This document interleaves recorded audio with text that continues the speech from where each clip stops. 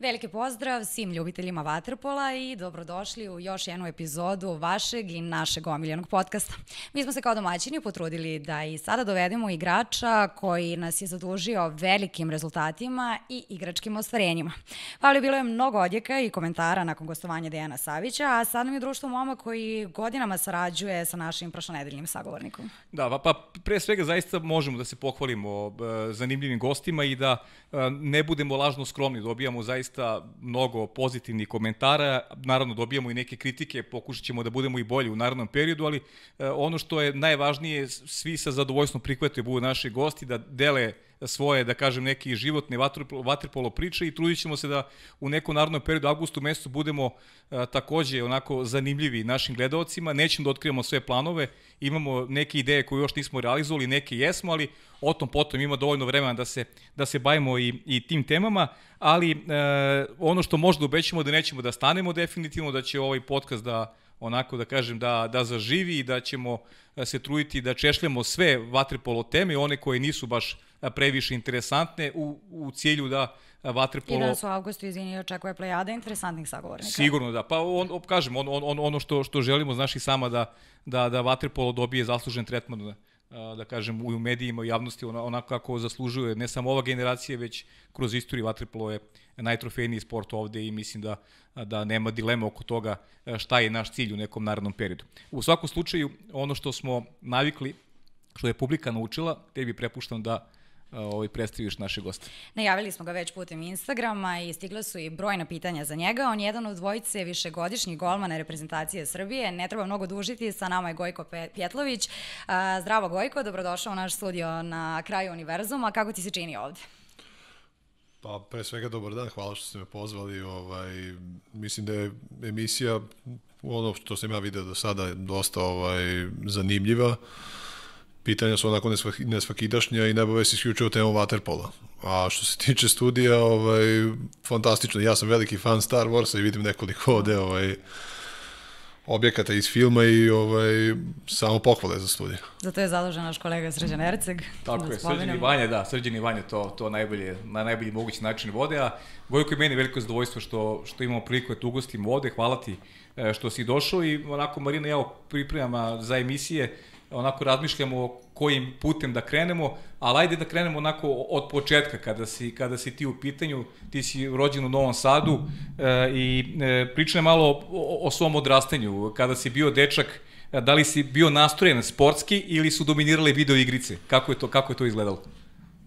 Pa mislim, dosta sam ja star, tako da ovaj, video igrice tada nisu bile toliko ovaj, popularne, uglavnom su to bila ona mesta gde su bili fliperi i one arkadne igre po kafićima i, i ostalim mestima, ali nisam ovaj preterano ovaj se bavio time stvarno, ali kažemo opet uh, ono što je interesantno kako ljudi sada kažu deca se ne igraju toliko napolju, uglavnom su na telefonima i igricama, da je meni neko tada dao ili mojim drugarima telefon ili neke kanale ili YouTube crtane filmove i ostalo dostupno na samo jedan klik pitanje da bi mi izlazili napolje.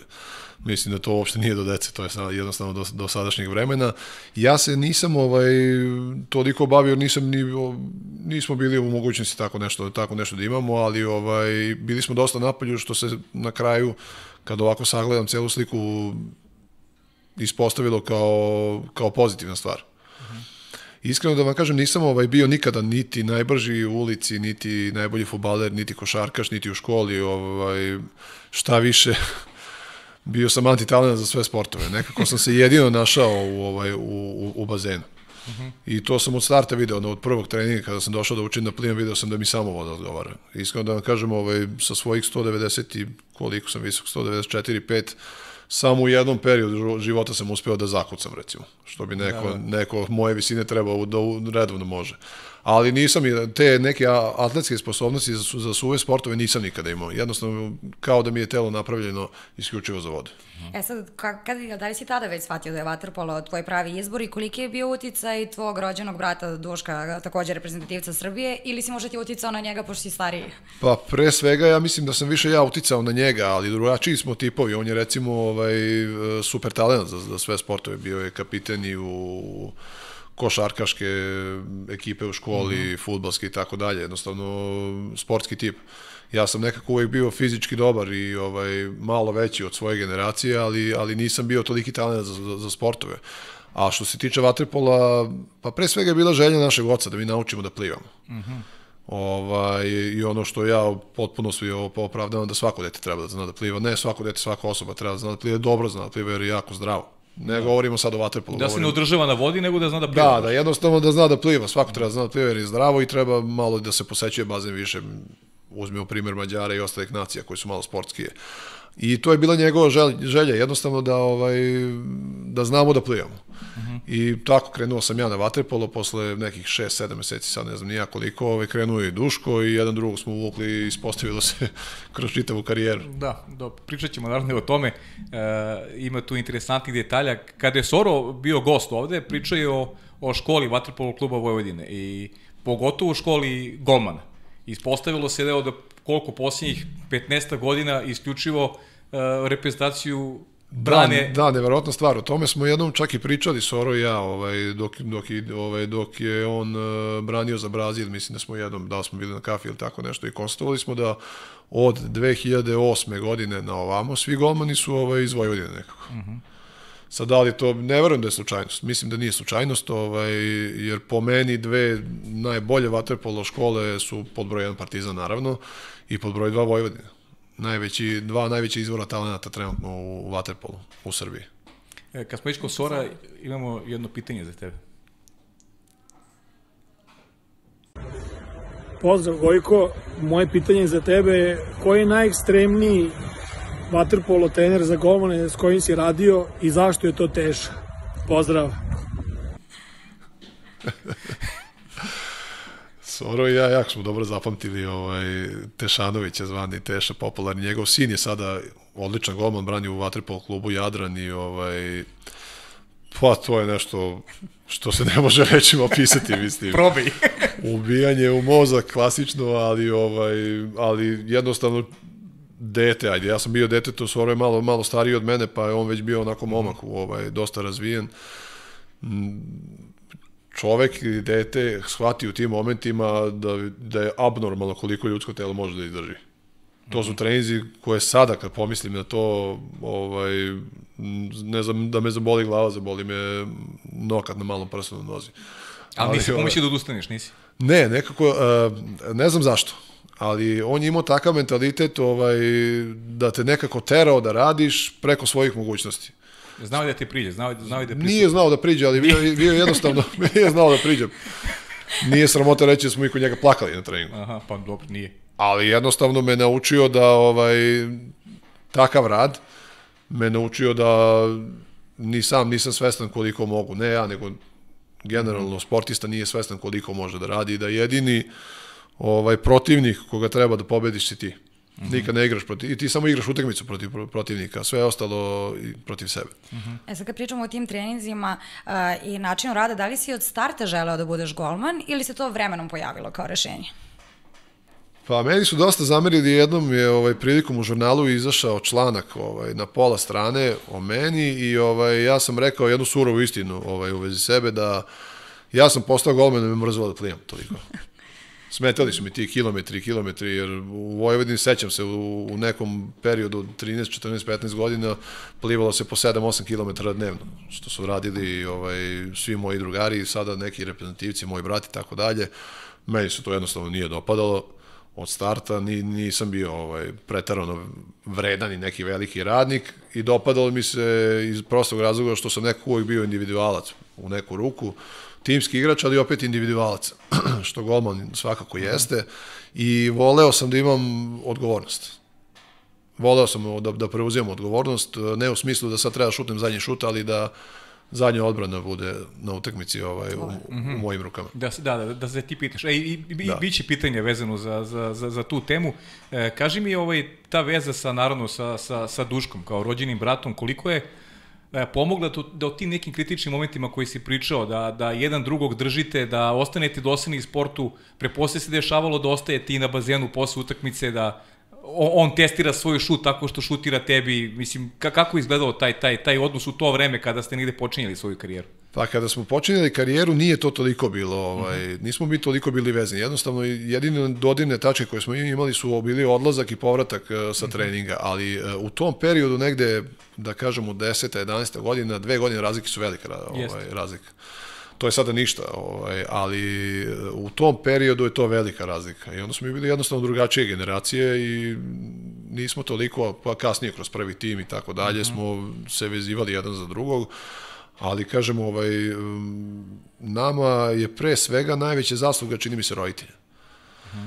I sve do tada u onoj teškoj situaciji 90. godina kada smo mi bili deca, kada je trebalo da izmisle ljudi 100 maraka za neki put, tada maraka, uh -huh. pričam namjerno 100 maraka jer to je tad bilo pojam. Oni su akrobacije pravili da bi mi samo otišli na turnir. Uh -huh. U ono zlo vreme. I tako da mislim da u svemu tome treba najveće priznanje dati njima upravo roditeljima ovaj, za sve to. I za naše radne navike i za ogroman deo našeg uspeha.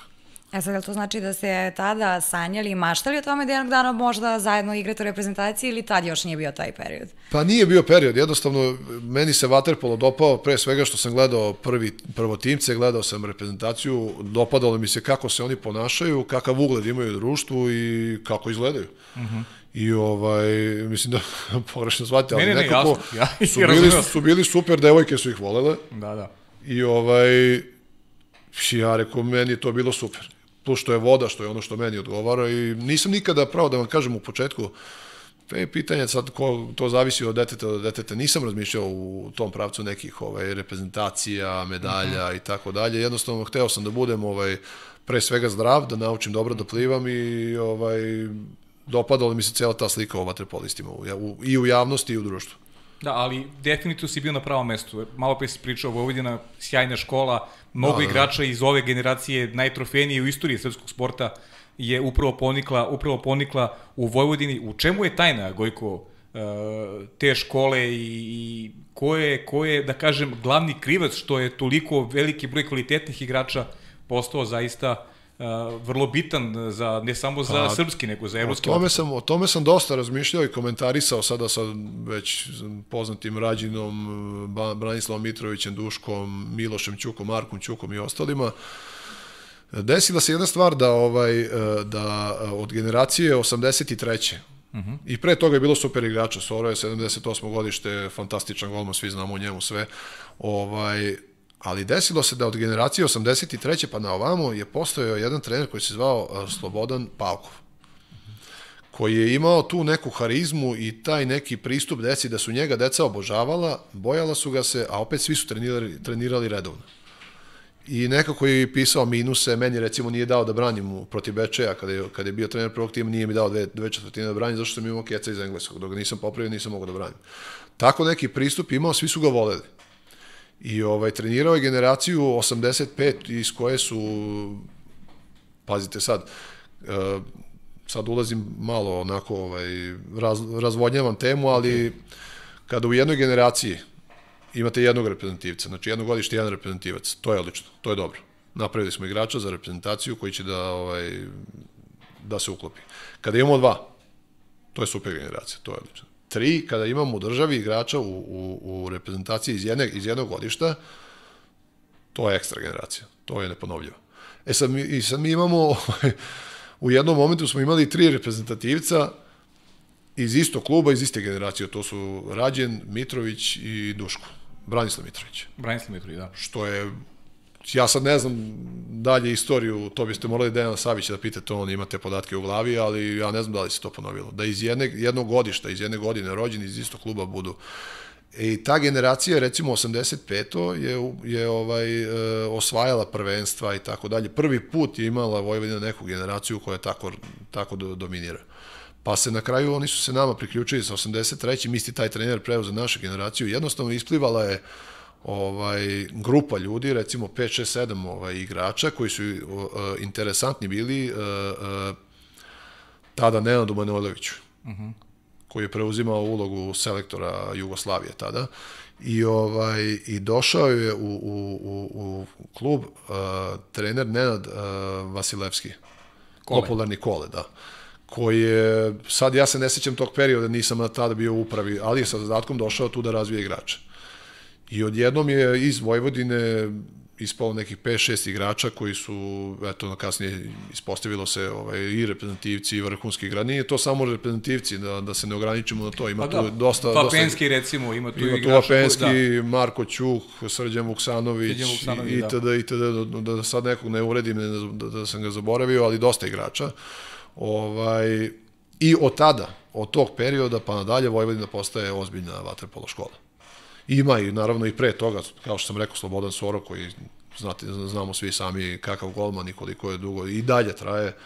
Tako da, ovaj, ali od te generacije nekako kreće sve. Onako. E, napravit ćemo digresiju, Marina. Mm -hmm. kakav danas odnos imaš prema Vojvodini, s obzirom da si odavno otišao? Ja ovaj, e, dugo nisam ovaj, bio upetljen u klub, jer jednostavno moje profesionalne obaveze i godine mi nisu dozvoljavale da se ozbiljnije bavim tim, ali sada je Vojvodina ovaj, Malo smo jaču ulogu pre, preuzeli Duško, Aha, tako. Duško ja, uh -huh. Miloš Ćuk i Branislav Mitrović. I ušli, ušli smo i u skupštinu kluba i čak i Marko Ćuk, sada generalni direktor kluba, došlo je do određenih promena. Klub je malo bio, u, u mislim, bio i dalje u finansijskoj krizi, uh -huh. koji su sad kako i šta nećemo da ulazimo u to okay. ovaj, koja je napravljena, ali mi polako izlazimo iz te krize i stabilizujemo klub.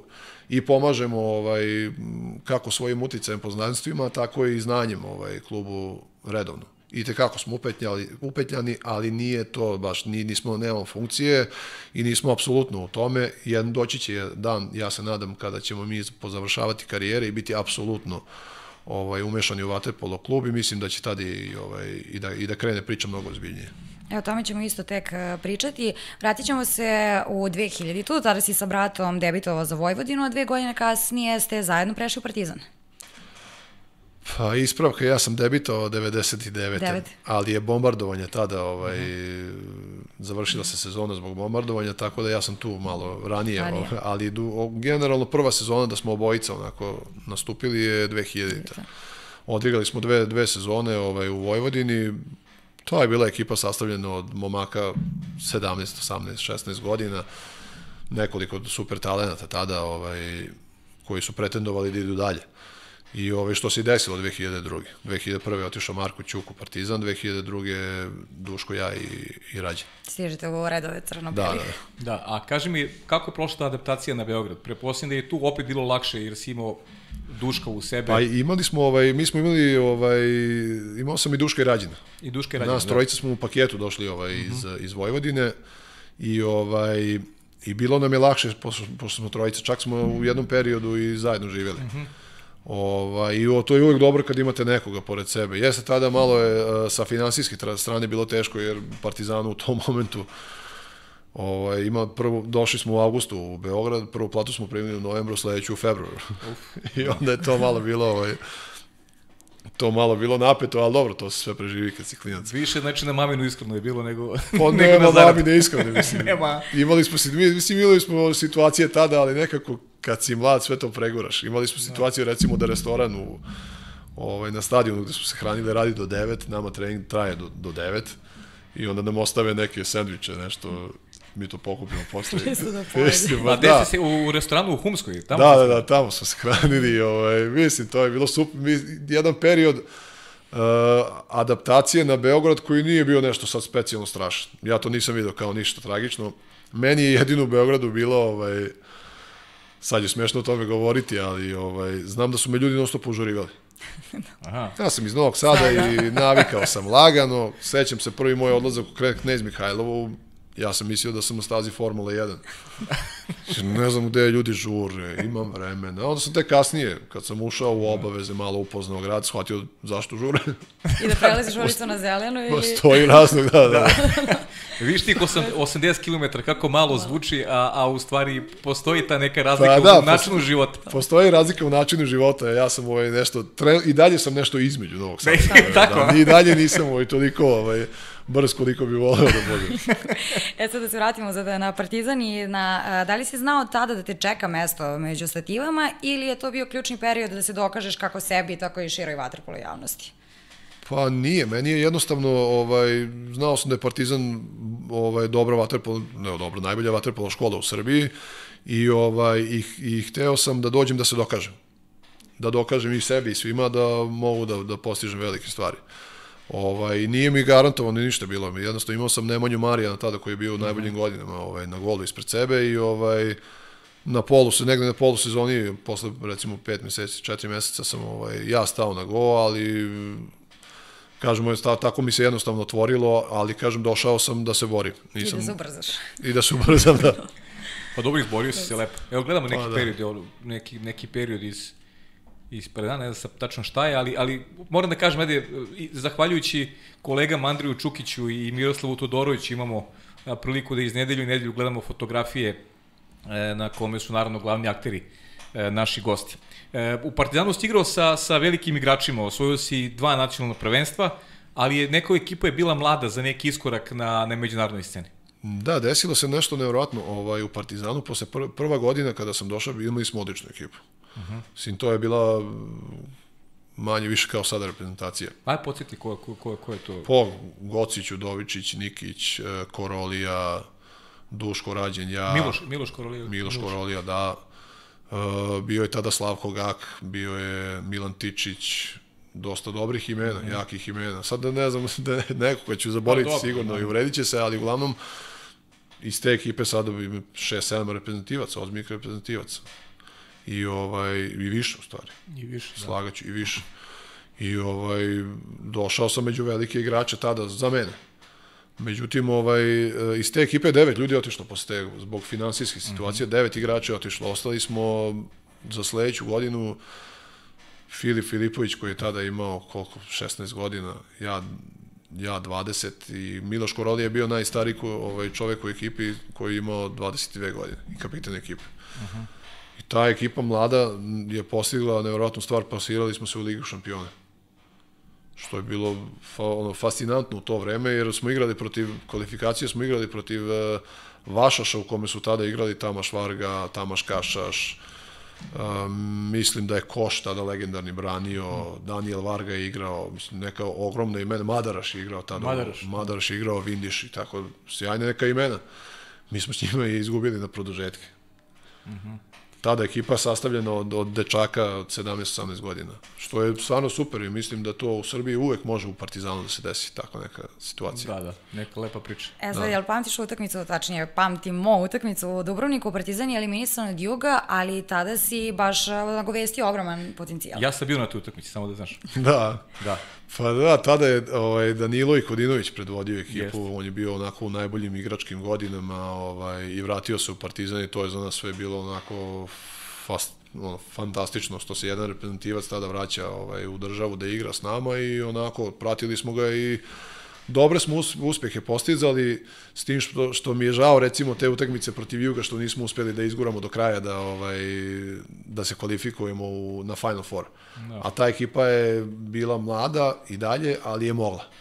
Mogla je imali smo tada dobri, dobrih ovaj moment u toj sezoni. I, I tada si ti imao dobre ocene. I, i dobri si branio tada. To je pa, imao ja sam, da, baš. toj utakmici, mada ja nisam prezdovoljan tom sezonom, ali, ovaj, ali kažem, ja, moja jednostavno životna priča o Partizanu nije toliko sjajna i bajna bila što se tiče, ovaj, nije sada sam napredovao iz godine u godinu, mhm. -huh. jednostavno imao sam dve godine do, dobre, onda dve loše i dve tragične. Uh mhm. Ali Tako da, ovaj, pošteno, ali, pošteno. Pa ne, ne mogu da, da bežim od toga da, da nisam, nisam dao svoj maksimum. Uh mhm. -huh. E sad, ovaj, uh, ja smatram da 70% toga nije moja krivica. Treba sam ja malo da imam i trebali bi imati razumevanja za mene i za moje godine. Nisam ja, nisam ja ovaj, oni su očekivali Denisa Šefika od, od 19 godina, ja to nisam mogao da im pružim. Aha. Znači, očekivao si, znači trebala ti je, trebala ti ne, ja sam, ja sam imao pre svega od sebe velike očekivanja mm -hmm. i mhm. kao i svaka usijena glava mislio sam da sam ja mnogo bolji od svih. Da, da, da. Mene da ste tada pitali me kakav šef i kakav kuljača, kakav, kakav mm -hmm. soro, ništa to, ja sam sigurno bolji. U realnosti to ne da nije bilo tako, nego je bilo potpuno obrnuto. Nisam bio ni blizu. Ali, ovaj, kažem, jednostavno godine su ono što golmana onako brusi i što, i, i što je neophodno golmanu. Pa i, pa i čoveku generalno. I čoveku generalno, ali i kod golmana to nekako specifično. Gledam i sada mlade golmane, iz ove situacije mi je malo smešno, kada oni misle, svaki misli za sebe i treba da misli. -huh. To je nešto što gura čoveka napred, jednostavno i treba da misliš da si bolji od drugih, samo treba to da pokažeš. A pokazat ćeš tako što treniraš i što radiš. Jasno. I onda je nekako, drago mi je, kad, meni je drago kad vidim golmana koji misli da je bolji od mene. Uh Mhm. -huh. Možda jeste, mo, i verovatno će biti. I mlađi golman, ima i imamo mi u Srbiji super talenata. A kaži mi nekog, aj, aj na prvu loptu. Pa imamo sada, evo, i e, odmah iza mene i Branislava Mitrovića su Dimitrije Rističević, Lazar Dobožanov i Stefan Živojinović. To su onako, uh -huh. ima dosta interesantan dečko u Šapcu koji je opet iz Vojvodine. Uh -huh. ovaj, Filipo, Gle čuda, gle čuda. Gle čuda, da, Filipović koji po meni ima fantastične fizičke predispozicije i ovaj, i ima dosta, ima iz Partizana takođe jedan klinac koji je Don je dosta mlad, ali neću mu spominjati ime da se ne uobrazi. Dobro, dobro. Ima iz Vojvodine, recimo imamo malog jednog koji je ovaj, 16 godina napunio ove godine, koji su super talenta, tako da ovaj, ima, ne, mislim da za golmane ne treba da se brinu. Ok, ajde ne brinemo ovde. Dodat ću. Da, da. E, šta najviše pamtiš, e, kad pričamo, da, da zaključimo tu priču o Partizanu, šta najviše pamtiš iz tog perioda na Banjici? E, kog trenera, a, saigrača, možda nekog prijatelja kog si istekao za, za ceo život, a, a da ne mora bude, sve. da, da ne mora bude baš i ne mora bude isključivo iz vaterpola. Pa ne, nekako kada sam došao u Beograd, ja nisam imao, nisam znao puno ljudi, samo ono iz sveta vaterpola, ali godinama sam polako prestao da se viđam, ovaj, to jest nisam prestao, nego ređe se viđam s ljudima iz Novog Sada, a češće iz Beograda. Nekako mi se ceo život preselio ovamo, sad je, sad je to preduga priča, pričati s kim se ja družim, gde Da, se naravno. krećem i tako dalje, nije to toliko sad ni bitno, ali jednostavno te ljude koje sam, u, koje sam upoznao tada, s njim sam nekako, ajde reći ćemo, odrastao i kroz reprezentaciju, kroz vaterpolo i neverovatna stvar u vaterpolu kad stekneš prijatelja ostaje ceo život. Uh -huh. I te ljude recimo sada, ovaj, znam da mi uvek potenciramo kroz reprezentaciju i tako dalje, potenciramo tu neku priču kako smo mi mnogo dobri, kako je atmosfera, a to stvarno je, stvarno je tako. Ali to se i vidi. To se vidi, da, i mi kad se nađemo, ne moramo da se vidimo godinama, opet kad se nađemo kao da smo se videli juče i to je, to je ono, nekako ljudi koriste tu frazu dosta, ali, ovaj, ali tako je. E, onda dođemo do 2008. i selitbe u Crnu Goru, ponuda koja se on odbija ili nešto drugo? Pa meni je to bilo jako onako rizično, ovaj, sećam se tada podrške velikog Denisa Šefika. Uh -huh. koji je, eh, ja sam hteo da idem u Španiju, jedan klub koji se ugasio posle godine i po dve, ovaj, mislim da bi tu napravio veliku grešku, ali zvala, zvao me tada uh, Mirko Vičević, Legenda, da. koji je, da, koji ima jednu od presudnih uloga u mojoj karijeri. Ovaj, Mirko Vičević, da, da, se, da, da, da ga ne zaboravim, poslije u razgovor koji me jako puno naučio o tome kako, pri, kako izgleda priprema pred utakmicu. Ne u smislu goma, nego analize igrača. Uh -huh. Dosta sam naučio od njega, ali ovaj trenirali su me i mnogo veći treneri, mnogo veći ovaj i sada i dalje učim. Tada sam prvi put video neku ozbiljniju pripremu za utakmicu, za neko finale i tako dalje. -hmm. Što se videlo, naravno, to, taj Kataro, ta Vaterpol Akademija Kataro je meni bila odskočna daska. I sećam se dobro Denisa Šefika koji mi je rekao, idi tamo, ti ćeš tamo pokazati svima da, su, da, da nisu pravo. Mm -hmm. Jer tada sam bio u 2008. je bila moja sigurno najgore godina ovaj, što se tiče karijere. Čak u jednom momentu sam i ono, teo dignem ruke od svega. Je li tako? Pa, jednostavno, mislio sam, u mojim očima je bilo da ako nisi reprezentativac, Ne, da ali nema jednostavno smisla, imao sam prevelike ambicije. Uh -huh. Imao sam veliko mišljenje o sebi, visoko, izvini, visoko uh -huh. mišljenje o sebi uh -huh. i, i, ovaj, i u jednom momentu sam bio malo i razočarao, ali moj mentalitet mi nije dozvolio da, da, da odostanem. I ovaj, sećam se, Denis Šefik mi je rekao tada, idi tamo i dokazat ćeš svima da, da, da greš. Kao što se, nadam se, desilo. Pa desilo se definitivno. A, ajde kad smo o, o Kataru, pričaj malo o, o, o tom klubu u Kotoru. To je bio klub, tamo igrao? To je bio klub, ovaj, prva godina je bila onako eksperimentalna. Uh -huh. Napravila se neka onako solidna ekipa, bilo je tu i dobrih par imena uh -huh. i, ovaj, i postizali smo neke le, onako lepe uspehe, ne ništa spektakularno, ali lepe uspehe, neku čak finale Kupa Leni ili tako nešto. A šta je Mirko Vičević? Mirko Vičević je bio... Mirko Vičević je bio trener te Tren, trener te ekipe. Trener i organizator cele te priče. On je poveo celu tu priču, našli su, našli su se tamo pare i, ovaj, i napravio jedna solidna ekipa. Sasvim solidna. Ta ekipa sada recimo bi mogla da igra Ligu šampiona. Ovaj, I bili smo nekako Jugoslavija u, jednom timu. Bilo je tu Hrvata, bio je Slovenac, bio, bili smo mi Srbi, Crnogorci, svi smo bili, mislim, nekako mešavina, ali dobro smo se slagali. Bila je dobra priča. Dobra zajednica i dobra zajednica. Dobro, da, bili, bili su dobri momci stvarno i ovaj, čujemo se i dalje stvarno sa nekim od njih i ovaj, do duše sa Đoratom Filipovićem recimo koji mi je tad bio, ovaj, s kojim sam svaki dan pio kafu i dalje pijemo kafu. Ovaj, dalje se viđemo, on igra u- na Novom Beogradu. Da, igrali ste u Partizanu. Igrali smo u Da. Partizanu, zajedno on je bio kapiten juniorske reprezentacije za moje godište. Ovaj, I dosta onako dobrih ljudi i meni jedna odskočna daska. Za, tu sezonu, za, za te sezone sam recimo, eto šta je život, 2008. od totalnog onako debakla do 2009. kada osvajam svetsko prvenstvo. Pa onda ta 2009 onda kreće, 2010. od 2009. sve kreće uzbrdo. kreće da. E sad, kruna te priče je upravo osvajanje Len Kupa.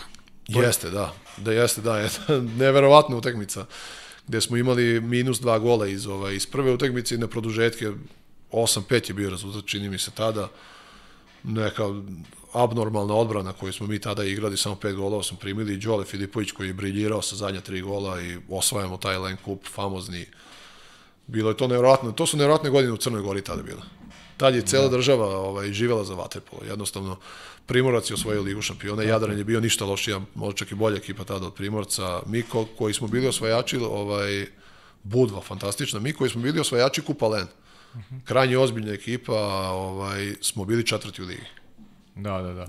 Ja. Jak. Eto, koliko je to bila ozbiljna Jest, priča tada. jest, jest. A sedmi, recimo, u Jadranskoj ligi, koliko je Jadranska bila, liga bila jaka tada. Pa koliko je, koliko je region bio u tom momentu? Da, da, da. Jak. Bilo je Vaterpolo bio tada u Crnoj Gori ovaj na izuzetnom nivou, stvarno u, od, u odnosu na Srbiju, a mada je Partizan i dalje bio ovaj u tom rangu jači. Mhm, Mhm, mhm. Partizan je tada jedina ekipa bio u Srbiji koji je mogao da parira cr, crnogorskim ekipama i da ih pobedi. Da. Ali ovaj ali tada je Crna Gora imala četiri jake ekipe i to su sigurno zlatne godine crnogorskog vaterpola i meni je drago što sam u tom periodu bio tamo jer mi je mnogo značilo kroz karijeru. A kaži mi šta se dogodilo na kraju? Kada se očekivalo da možda klub napravi još veći iskorak, jednostavno nestao se scena. Pa ajde, Hoće da priča o tome? Pa, ajde kažemo da je izgubio život glavni sponsor. Aha. Nećemo da pričamo. Da, do, da, da, da, da, da, do, Onda do. ćemo, ostaćemo u Crnoj Gori, Da. ali promenit ćemo temu. Godinu dana si proveo u Budvi. Nisam. Nisi. Ne znam Nije. zašto vidim, ovaj, uh, dosta me novina razvalo i fan, fascinantno je da ljudi prave tu grešku. Ja sam sa Budom imao, imao neki dogovor i ovaj i imao sam dogovor da ovaj uh, ne želim da smetam Denisu Šefiku. Ako Denis Šefik ostaje, ja, ne, ja neću da, da dolazim, pre svega pod broj ja neću da budem drugi golman, a ne, to je pod broj dva. Pod broj jedan je bio moj odnos prema Denisu Šefiku i moje mišljenje o Denisu Šefiku tada. Zato, on je meni uvek bio nekako veličina i ovaj i ni- nisam ni u kom slučaju hteo da da mu da mu smetam. I na, onda smo po, ovaj potpisali papir gde se ako Denis Šefik ostaje ja ne ja ne ostajem. Aha. I ovaj neki kao predugovor. Tako nešto. Gde je, gde je tada bilo i garancija da će oni meni isplatiti određene pare ako ako Denis Šefik ostaje. Naravno, niko ništa nije se vidi ništa posle. Ovaj, ali dobro, nije to ni, to- ni toliko bitno. Pa dobro, ali da, znaš da se vodiš kroz... kroz Ne znam, kroz vidim da E, e, evidentiran si kao, Evidentiran kao, sam kao, kao igrač Budvanske igrač- rivijere, znaš. kao igrač Budvanske rivijere, što mislim, ja nisam ni jedan Ni dan... jednu utakmicu nisi Ne, branio. nisam se pojavio u. Dobro, onda da pređemo na Crvenu zvezdu, to si bio. U Zvezdi si bio. U Zvezdi, da, jedna, dve fantastične godine u Zvezdi. Mm Mhm. -hmm. Ovaj, tada kad se to desilo sa Budvom, ja sam 29. augusta mi je saopšteno da nemam klub. Da, da, da. da. Što je u, u Waterpolo krugovima 29. jula je kasno, a 29. august je već zatvorena cela priča. Sva sreća, pa je u Zvezdi, Zvezdi i dalje trebao golman. I ovaj, došao sam u Zvezdu. Mm, mislim da je to bila prava stvar tada za mene. Ovaj, jer sam se najzad, najzad sam bio onako, ne najzad, ali bio sam u Beogradu, tada mi se i rodio sin i ovaj, bilo mi jako bitno da budemo svi zajedno. I onako, dve fantastične godine u Zvezdi. Druge sezone sam čak i bio kapiten i ovaj, imali smo jako lepu, jako lepu mladu ekipu, jako dobru priču. To je bila de, eh, prva godina Dejana Savića kao trenera. To sam baš ti pitati. I on je tada bio onako pun entuzijazma i ovaj i stvarno smo funkcionisali fantastično. Tada ta ekipa. I to, ti, to je prvi susret tvoj u stvari sa, sa Dijanom Savićem kao... Pa kao trenerom, Kao trenerom, da, Kao, kao trenerom, trenerom, da. I imali smo jako, i on i ja od tada imamo, ovaj, jako se dobro razumemo i jako Mhm. dobro funkcionišemo. Znamo tačno ko, šta koji radi i kako da se ponašamo jedan prema drugom. E sad, brzo ste nakon toga, jesi htio još nešto? Ne, ne, ne, samo, samo pitam. Brzo ste se nakon toga rastali, otišao si u Ferenc Varoš, po čemu pamtiš taj period? Ferenc Varoš, opet neka loša priča, napravljena je dobra ekipa, za prvih pet, nije pet, ali da kažem prvih pet, šest mesta u ligi i ovaj, Međutim, e, došlo je do nekog raskola upravi, što ja stvarno ne znam ni mađarski, nisam ni poznao toliko taj klub, ali u nekom periodu, negde u novembru je od jednom pola igrača otišlo, nek, se napravio neki jaz, ja sam trebao, trebao da se vratim u Kragujevac, ali, ovaj, ali je to stopirano. Ovaj, I onda u, ne mogu da kažem da mi je to baš najsrećnije godine. Na kraju mi Ferenc Varoš ispao stvarno korektan prema meni i tada mm -hmm. ovaj, isplatili su me, ja sam nekako smo funkcionisali, ja sam trenirao u Beogradu, išao tamo na utakmice i svake nedelje sam prelazio po 800 km tamo i nazad ovaj, da bi igrao ovaj, utakmice, da bi ostao u ritmu zbog reprezentacije, inače da nije bilo toga, vjerojatno bi raskinuli ugovor, ali hteo sam da ostanem u ritmu zbog reprezentacije. Da, Ferenc Varoš definitivno tada nije bio klub kao danas, jako su oni najpopularnija sportska sekcija u Mađarskoj. Nije ali, blizu, nije da, blizu. ali znaš šta možda ispričaš kao, kao neko ko, ko je bio onako svedok, uh, svedok, uh, igrao si u Mađarskoj, uh, priča o uslovi u Mađarskoj, da malo ispričaš kakav status imaju igrači i to verovatno nešto što treba, što treba doživjeti. Pa to prvo, pod broj jedan, Mađari su fascinantni što su sportska nacija. Uh -huh. Za mene sportska nacija nije nacija koja osvoja bezbroj medalja na, na takmičenjima, za mene je na, sportska nacija ona koja vole da se bavi sportom i koja ceni sportiste. I ovaj, vi sad kad tamo odete recimo na taj popularni Margit Cigete, vi ćete vidjeti svako jutro prepune trkačke staze i, ovaj, i vežbališta ona gde, na, u parkovima i tako dalje, prepunih ljudi svih generacija. Čak je bio neki podatak, sad ne bi da ispadne smešan, ali neki podatak da se tipa 75-85% nacije rekreativno ili profesionalno bavi sportom. Što je fantastično. Da. Imaju više, ja mislim, ovaj, olimpijskih bazena na tom jednom Margit Cigletu nego mi u Beogradu. Da, to je kao Slovenija u okruženju, recimo. Oni pa, baš da, baš onako i, i ovaj, jako cene sportiste. Da, da. Ugledaju se njih, jako ih cene. Jedan od, jedan od primjera je bilo gde, recimo, 2014. ono popularno finale, sada mi završao, pa, prvo predstavljanje Uh -huh. Nijedan zvižduk, ništa, aplauz našim igračima, aplauz njihovim igračima. Zatim posle utakmice gde su oni, oni doživjeli, ajde kažemo, debakl, izgubili su pet razlike, ovaj, potpuni aplauz sa tribina, onako respekt prema igračima kao sportistima i kao ličnostima. Uh -huh. E to je ono što mi se najviše dopalo. Uh -huh. I da ne pričamo o sistemu finansiranja sporta i o, o uslovima u kojim sportista, sportisti treniraju. To je nešto... Raj. Pa raj, ja bih voleo da mi jednog dana dođemo par približno na, to, na taj nivo. Makar pola, makar pola. Da, da dođemo do toga i bilo bi fantastično. A kada je Rumunija u pitanju, sledi jedna zanimljiva epoha, pet godina si proveo u Radeji. Šest. Šest. Šest. Šest. U zadnjih sedam godina jednu sam ove godine nisam pa bio. Pa da, da, ali u pet, petu kontinuitetu petu, tada bio. Da, petu u kontinuitetu, kontinuitetu pa još i jedna u Šapcu, pa još pa, jedna. Da, da, da. Pa u Rumuniji ja sam se iznenadio, recimo oni imaju neverovatan potencijal. Mm -hmm. Oni isto imaju uslove, ovaj ništa lošije, mislim što se tiče vaterpola, ovaj od Mađara. Pa Oradea je negdje geografski, oni su oni su Ma, oni su blizu, na granici, Oradea je grad koji je na 15 km od granice mm -hmm. s mhm. Mađarskom i ovaj ne Oradea, govorim i Tako je, da, da. Tamo svaka svaka ekipa ima svoj bazen. Mm -hmm. Dinamo, Steaua, uh, Arad, Temišvar, Kluž, za Temišvar nisam siguran, ali znam za Kluž i tako dalje. Mm -hmm Oni svi imaju svoje bazene na raspolaganju apsolutno 24 časa.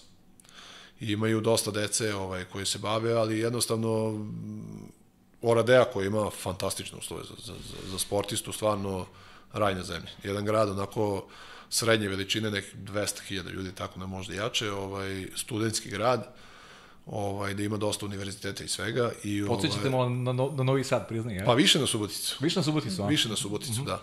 Ovaj, ali je onako za sportistu fantastični uslovi. Sve je blizu, ne gubi se vremena saobraćaja i na neke druge stvari. Pre svega, jedan grad bez kriminala, gde je za porodicu fantastično, imaju mnogo parkova, akvapark, imaju internacionalni aerodrom i tako dalje. Jedna super priča koja je mene malo reći iznenadila. Uh -huh. Jer nije mi bila ta ni ta rumunska liga toliko ovaj, toliko poznata, a ni uslovi u Radeji. Kako si reagovao na prvo slušanje, kao imaš ponudu u Radeji? I si... Pa ne, prvo je nazvao me neki posrednik, neki da, čovek koji je, sad se ja njega ne sećam, mislim da je Hrvat iz, ovaj, iz Španije, jer ta, ta trener nije dobro pričao engleski. Uh. -huh. I onda me nazvao i ja rekao, pa dobro, šta do Radeja, ja sam hteo nešto malo bolje, neku ligu šampiona da, da igram što se na kraju ispostavio da sam stvarno igrao, ali sa Oradejom. Sa Oradejom. Ovaj, I nazvao me trener, dali su dobre finansijske uslove, Pa meni je tad bilo najbitnije da, da, da ima neka redovne primanja posle Ferenc Varoš i da ima neku onako bazu gde mogu da treniram normalno. Mm -hmm. Na sve što sam ovaj sve što sam želeo su ispunili i naišao sam na onako raširene ruke i sve uslove koje sam mogao da poželim. Mm -hmm. Što se na kraju i ovaj ispostavilo kao pravi potez jer ta 2013. 14. godine možda i što se tiče forme jedna od najboljih u mojoj karijeri. Mm.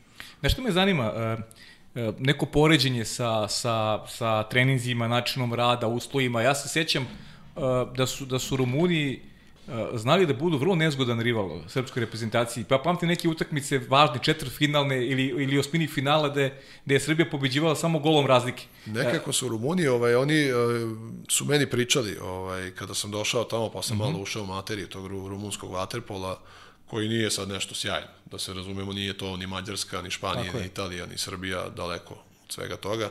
Ali, ovaj, ali kažu da je jedina reprezentacija koju oni nisu pobedili u godinama nazad je Srbija. Srbija. Kaže, jedino nas nikada nisu pobedili. Nimaju da li to, ne znam, veliki respekt ili strah. Inače, umeđu vremenu saznalo da smo mi ovaj, jako povezani genetski sa, sa, sa Rumunijom i prijateljski odnosi imamo i tako mhm. dalje, ovaj, što mi je veoma drago. Ovaj, ali Rumuni ovaj, imali su jako dobre generacije pre toga. Recimo, kvalifikovali su se na olimpijadu 2012. gde su život zagorčavali Mađarima. Da, da. Tada koji su došli da, da osvoje, da osvoje olimpijadu. Da. Pobedili su Italiju recimo 2009. u Italiji. I tako, imali su fantastičnu utakmicu, nerešeno sa Crnom Gorom koja je došla da osvoji Evropsko 2010.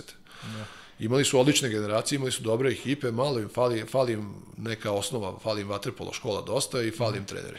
Aha. E sad da ostanemo još malo u tom periodu, osvajao si i, i titule i nacionalne kupove, iako Radeja nije baš bila tada toliko dominantna. Pa nije, u, u Rumuniji je tada postojale su četiri ekipe koje su, tri su se borile za titulu, ali su dve onako pretendovale Osteaua i Oradea. Mi smo tada imali jako dobru priču, ovaj, ima bilo je dosta igrača koji su se vratili iz inostranstva, koji su malo vaterpolo učili po Italiji i Mađarskoj. Došli smo ja i Vojislav Čupić koji je ovaj isto bio juniorski reprezentativac, da, da. malo je zakačio ja, da, da, malo je zakačio ja reprezentaciju, koji je na moju preporuku i došao tamo u Radeu, mm. na svu sreću, koji inače mi je veliki prijatelj i mm. ovaj i nas dvojica smo nekako ovaj uh, uspeli tamo da da se kvalifikujemo za ligu šampiona i da napravimo neku atmosferu koja je bila fantastična. To je jedna od najboljih godina u mojoj karijeri. Uh -huh. E, bilo, rekao si, znači, Vojislav Čupić, jedno vreme Dejan Stanović bio selektor, ili bilo još? Da, Dejan Stanović je bio selektor Rumunije, on je tamo pokušao mnogo stvari, ovaj, sad Rumunija je malo komplikovano, to je da ne razvodnjavamo priču, ali imao je najbolju ideju da, ovaj, da podigne rumunsku školu, da bi imao neku osnovu za, za reprezentaciju, da podmladi ekipu i ovaj, oni i dalje imaju jako visoko mišljenje njemu kao trener. Isto kadar Vojvodine, to čisto, čisto da naglasim. Isto kadar Vojvodine, da, da, isto. Isto golman iz Vojvodine. da, isto golman iz Vojvodine. E sad sezona 2018-19, jedni reprezentativac koji je igrao u Srbiji sa Šapcem dupla kruna i svi kažu Gojko je bio taj tas na vagi koji je prevagnuo na stranu Šapca. Pa ne znam sad to, ovaj, to kažu, ali ja sam jednostavno ovaj, u Šapcu, onaj naj, moj najveći uticaj je bio ovaj, držanje atmosfere u ekipi. Uh -huh. jednostavno reda u slačionici i ovaj i mislim da sam to ne mogu reći nisam ponosan ali drago mi je što sam uspeo malo uh, da da to nekako da kažemo dovedem u red i mislim da je s te strane moja zasluga, sad s ove strane kako sam branio to neću da ulazim, to je na drugima da komentarišu, ali ovaj ali imao sam fantastične momke tada u Šapcu, ekipa onako sastavljena od ljudi oko 20 godina su imali svi. I to je mi bio nekako moj prvi susret sa, sa, sa tom generacijom. Uh mhm. -huh. Jer ovaj, bi, dosta sam bio u inostranstvu i kad sam ja odlazio iz, ovaj, Srbije da igram u Rumuniju i tako dalje, nije ovaj, neka druga generacija bila u, igrača u Srbiji. A sada sam prvi put upoznao tu generaciju kako razmišljaju, kako treniraju i kakvi su im planovi i tako dalje, koji im mentalitet. I ovaj fantastični momci, stvarno bila nam je super atmosfera, uspeli smo da ovaj da osvojimo duplu krunu što mi je izuzetno drago. Prvi put sam nešto osvojio titulu kao kapiten i to je onako mm -hmm. meni bilo onako imalo specijalnu draž, ali opet kažem lepa priča, nadam se da će oni nastaviti tako dalje da ulažu te pare ovaj tu sumu i ovaj te budžete u u Waterpolo klubu. Dobro, da, ali de, definitivno, lepo si rekao, nije samo kvalitet koji si davao između stativa, verovatno si osetio tih mladih pa, ljudi, da, neko poštovanje i pa jesam, su morali su, da, da, da slušaju, da. Pa nije, mislim, nisu morali, pa, mislim, ali zahtevao sam jednostavno. Da, da. Ovaj, nisam zahtevao nikakav respekt da me se neko boji, mi smo svaki dan, ovaj, svakodnevno posle treninga išli na, na kafe i tako dalje.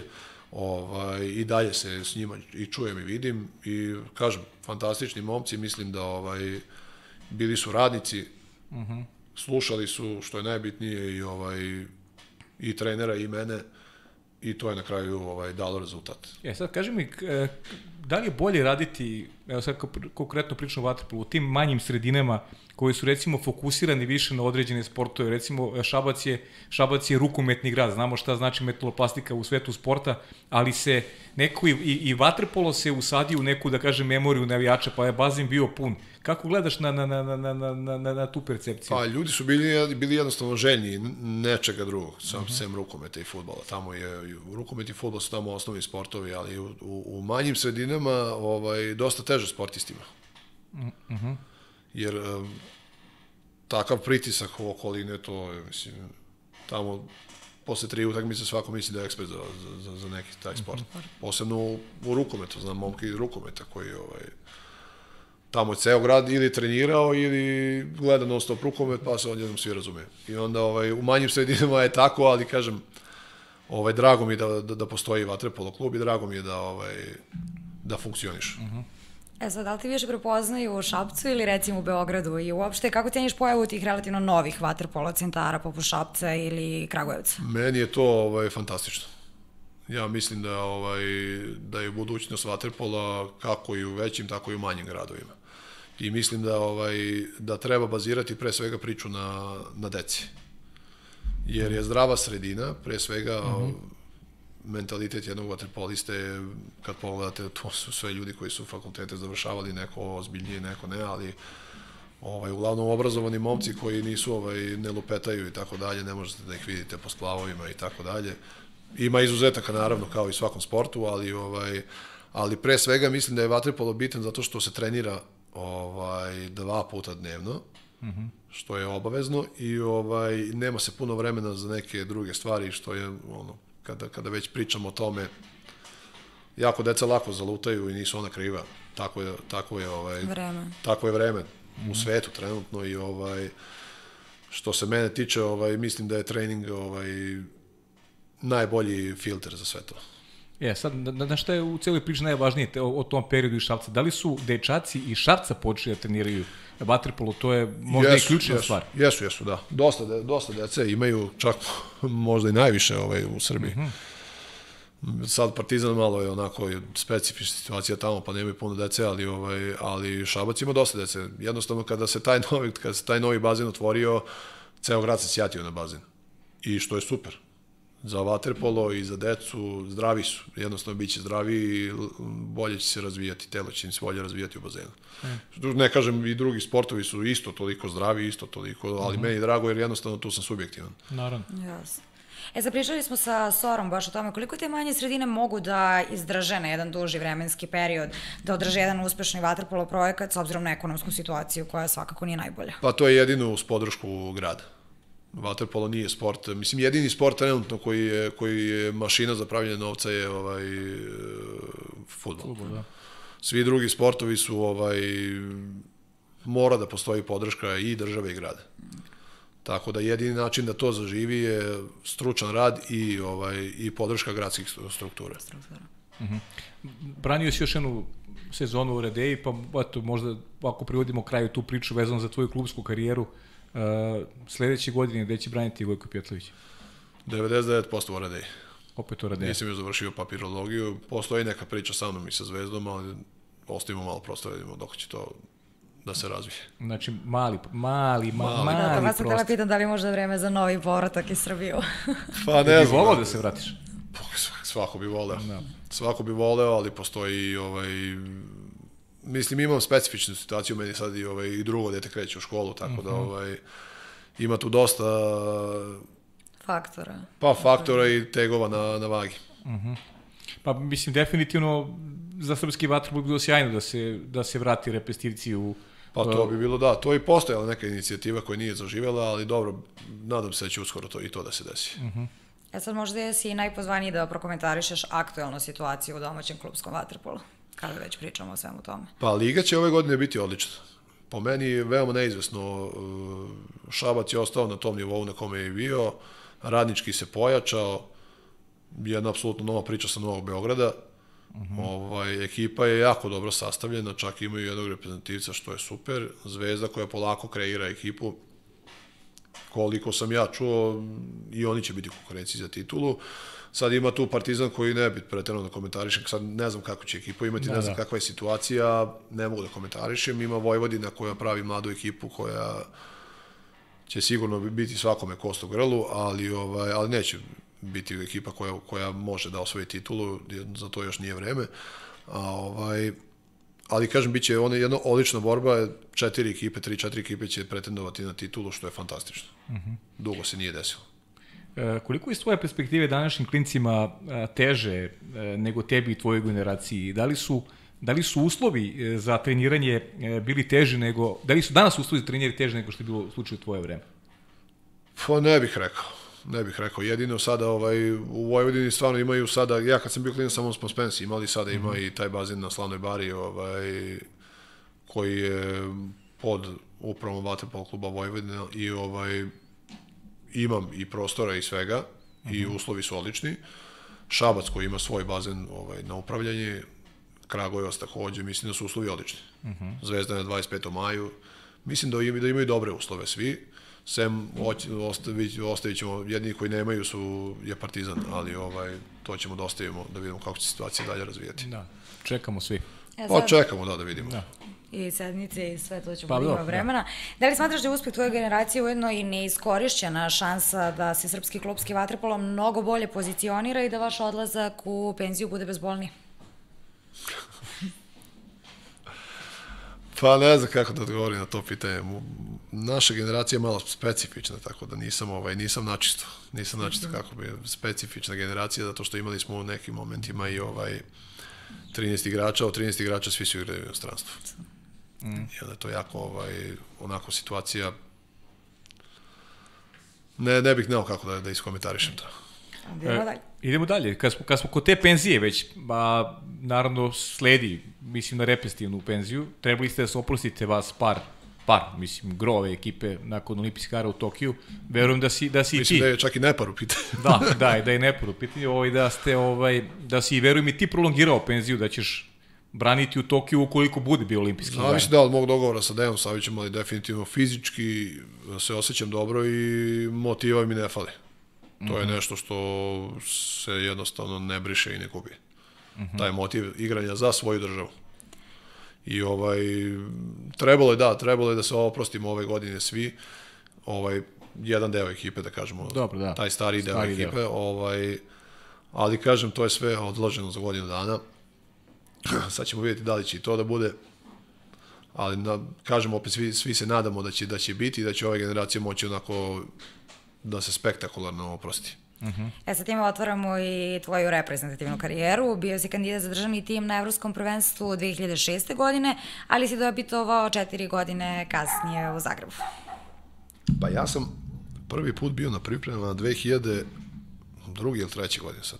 Treći sigurno, ali mislim uh -huh. da mhm. sam neki kratki period bio i, i druge godine. Tako da negde čekao sam da, da postanem standardni reprezentativac 7 godina šest ili sedam godina sam trenirao i čekao da, budem, da, budem, da postanem standardni.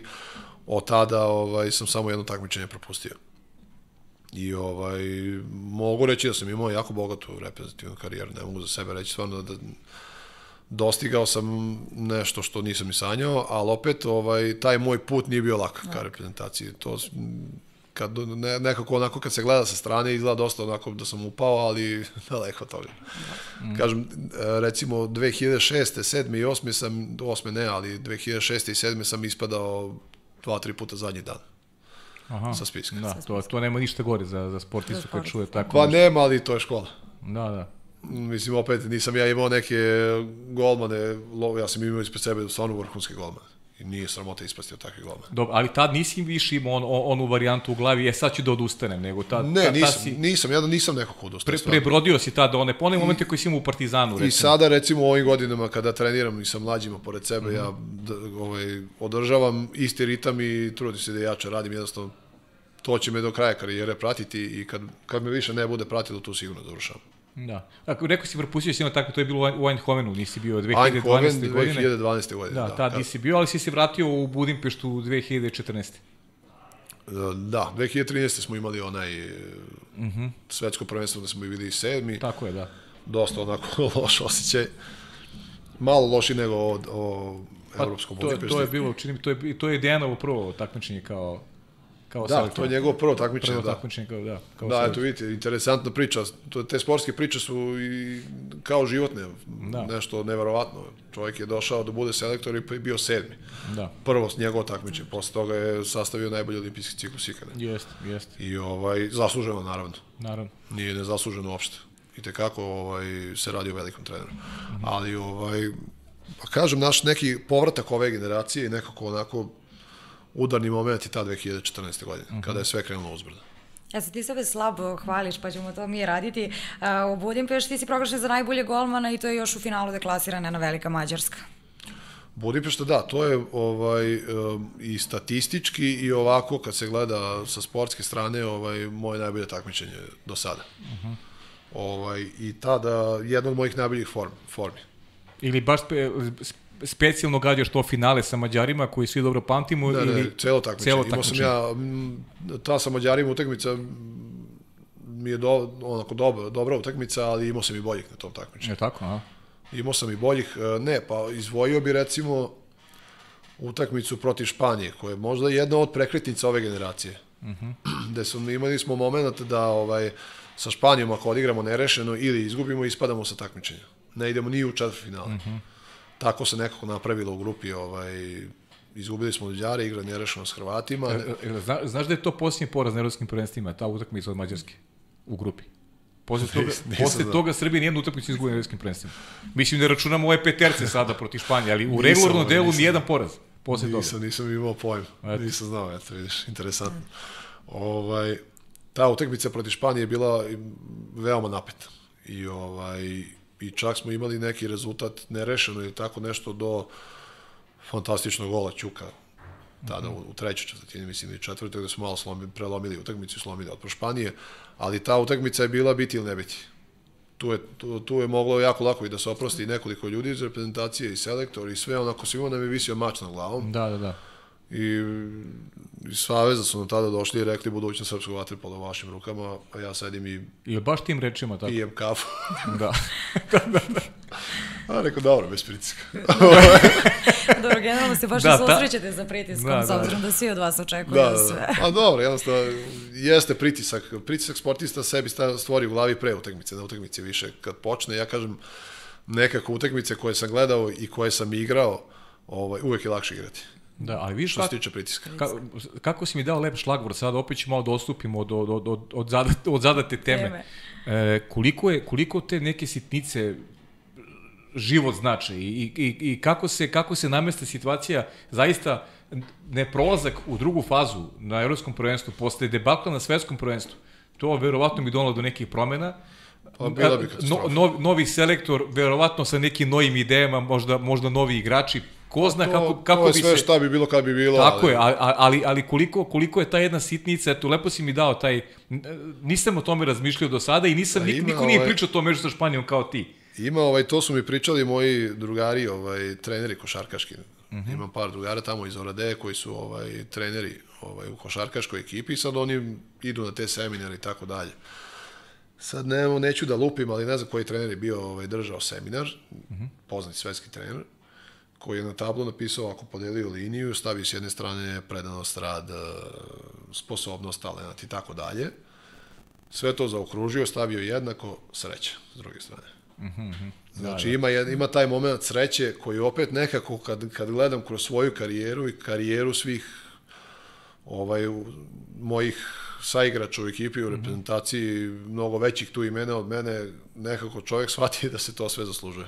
Da, pa jasno. Da, da. Pa ono, u sportu, ja i moram ti priznati, ja generalno u sportu taj faktor sreće najmanje priznajem, moram ti priznati. To, to je kao e, š- tvoja Pa- generacija, ti peterci čuveni, sve ste mečeve dobijali Jeste, na jeste, peterci da. u Španiji, nije to sreće, to je, to je kvalitet. Pa recimo ljudi vide peterce kad ovaj dobijemo, ne shvataju da recimo meni se dešavalo sa Filipom i Andrijom da ostanem po pola sata ovaj, posle treninga u bazenu i vežbamo peterce. Da, da, jasno, jasno. I meni, i Branislavu Mitroviću, i Filipu, i svim tamo koji dođe do tog momenta šutiranja peterca. Uh -huh.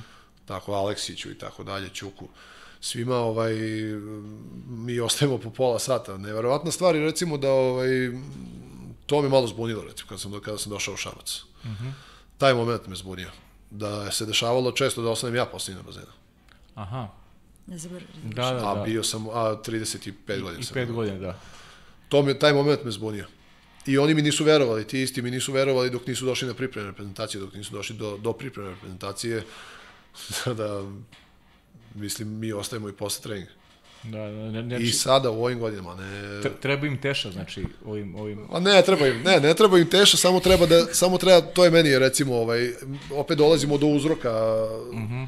uzrok tome je što oni, ovaj, u klubu su već sa 19 godina, 20 glavni igrači nosioci eki- ekipe. Da, da. I na treninzima i, i, u, i u, na utakmici. A to tako ne treba da bude. A to je ono što je Dejan priča prošle nedelje, nema, nestaju ti igrači srednje kategorije i to je najveći problem generalno. E, za- sad se dešava da recimo ili si reprezentativac ili... I, i, ili, si- ili, ili gledaš da, da odeš iz vaterpola. Pa da, ali to je velika greška. Je, pa to je, pa to je Jer veliki... mislim da i sport pa škola, sport i škola mogu i tekako, mnogo teže, 20 puta teže nego, ovaj, ne, nego bez sporta, ide škola, ali ide. Da, da, da. Može i ne mogu da nađem opravdanje zašto, za, ovaj, kao nemam. I, I jeste.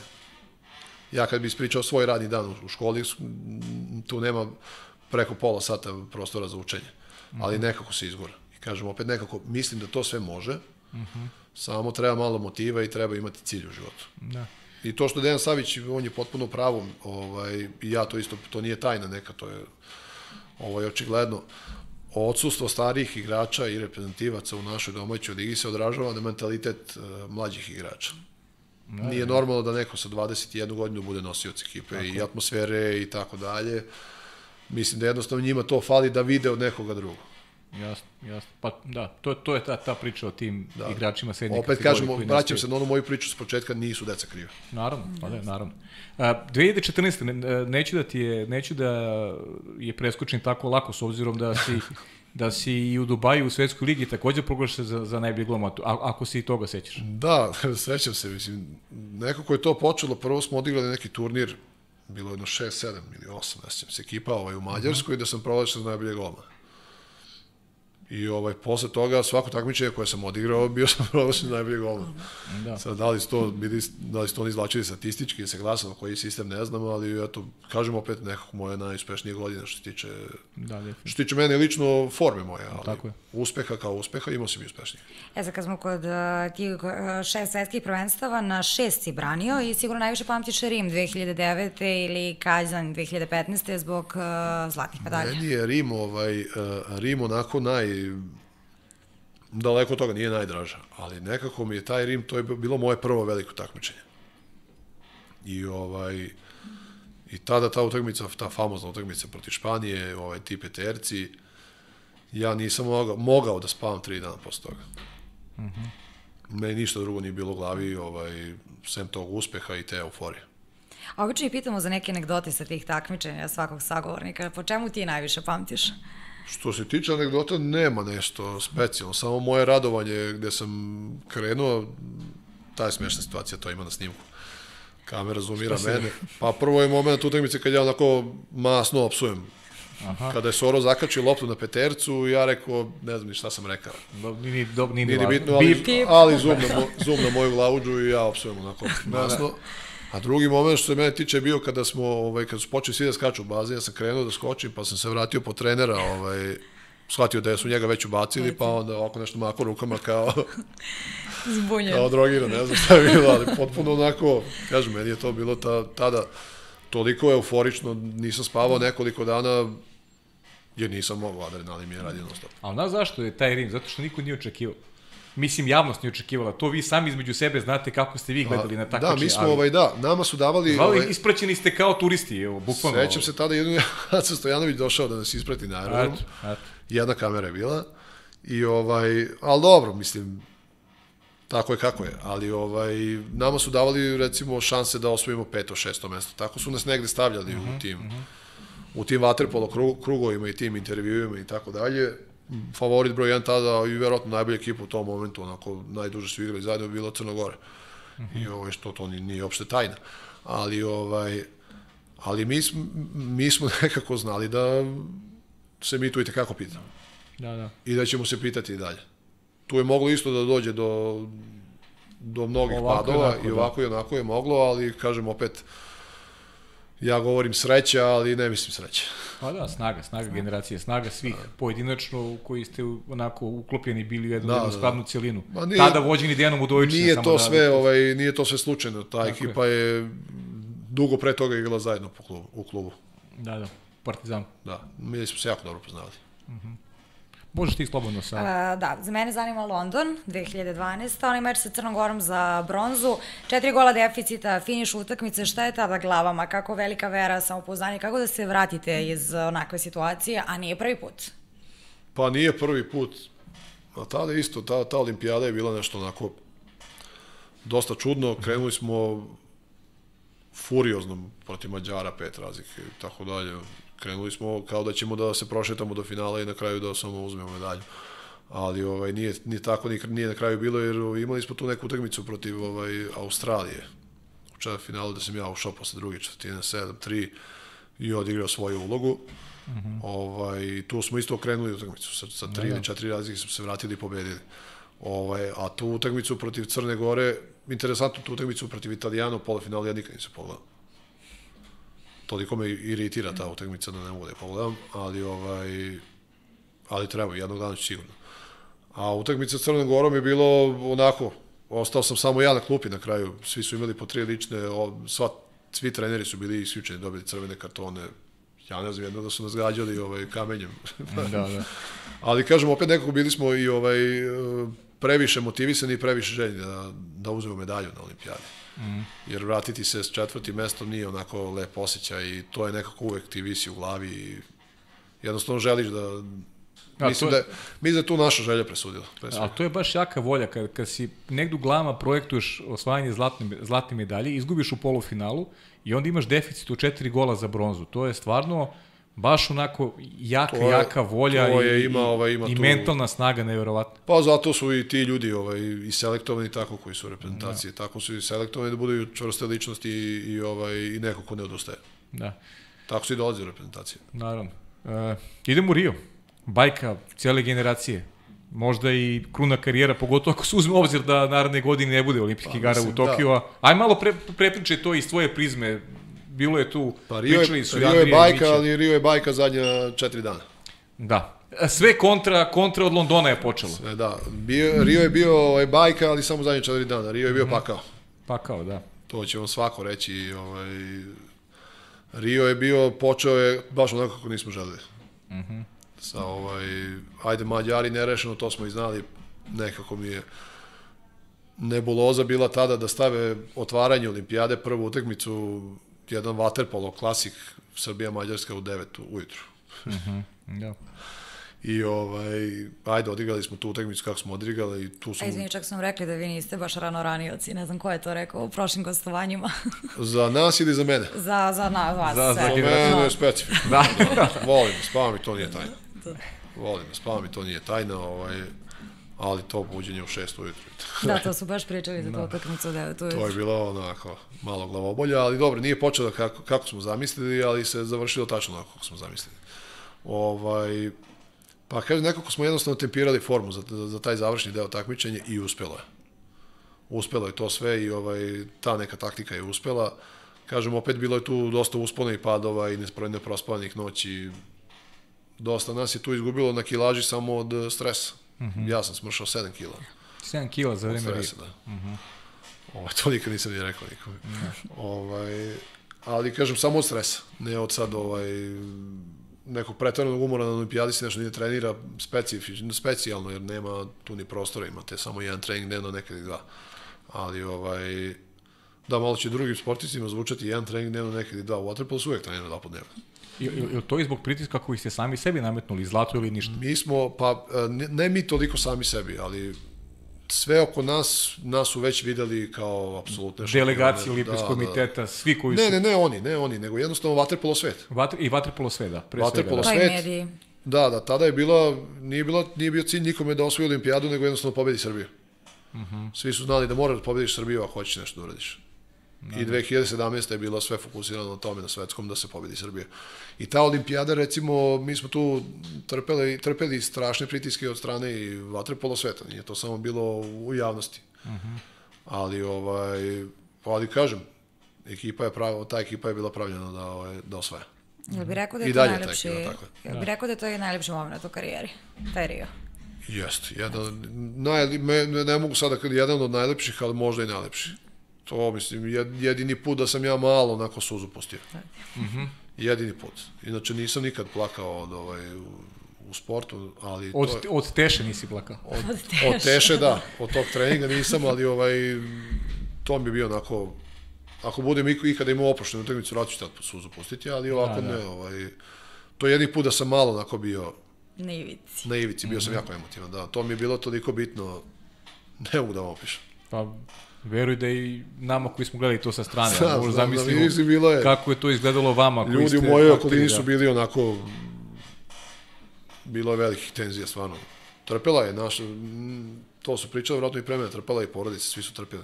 Da, jasno. Zbog tog pritiska ta olimpijada, jer ljudi generalno ne shvataju kako to izgleda. Mm. Mnogo odricanja, mnogo odricanja. Pa mnogo... ne odricanja, ali kad staviš sebi takav jedan cilj u životu, to je onda Moraš svega da, da se odrekneš. Da, da. A, a koji je bio najteži, kad znamo koji je bio najlepši? Koji je bio najteži moment u karijeri? Najteži je bio 2013. godina, utakmica protiv Crne Gore u četvrtfinalu. Svetsko prvenstvo? Da. Primio sam gol koji, ovaj, sad da li je moj, nije moj, to je je gol koji ja nisam teo da primim. Uh mhm. -huh. Iako sam tu utakmicu, mislim da mi ovaj, da sam bio u formi u toj utakmici, da sam je odradio kako treba, samo taj zadnji, zadnji šut nisam. Uh -huh. ali, ovaj, ali kažem, to mi je jedan od najtežih momenta. Bilo je dosta teških momenta. Naravno. Karijera svakog sportista je sastavljena od više teških nego, ne, nego lepih momenta. To u svakom sportu i svaki vrhunski sportista, ajde ako sebe stavimo u tu kategoriju, ovaj, ima više teških momenta nego, nego srećnih. Mm. Što se tiče utakmica i tako dalje.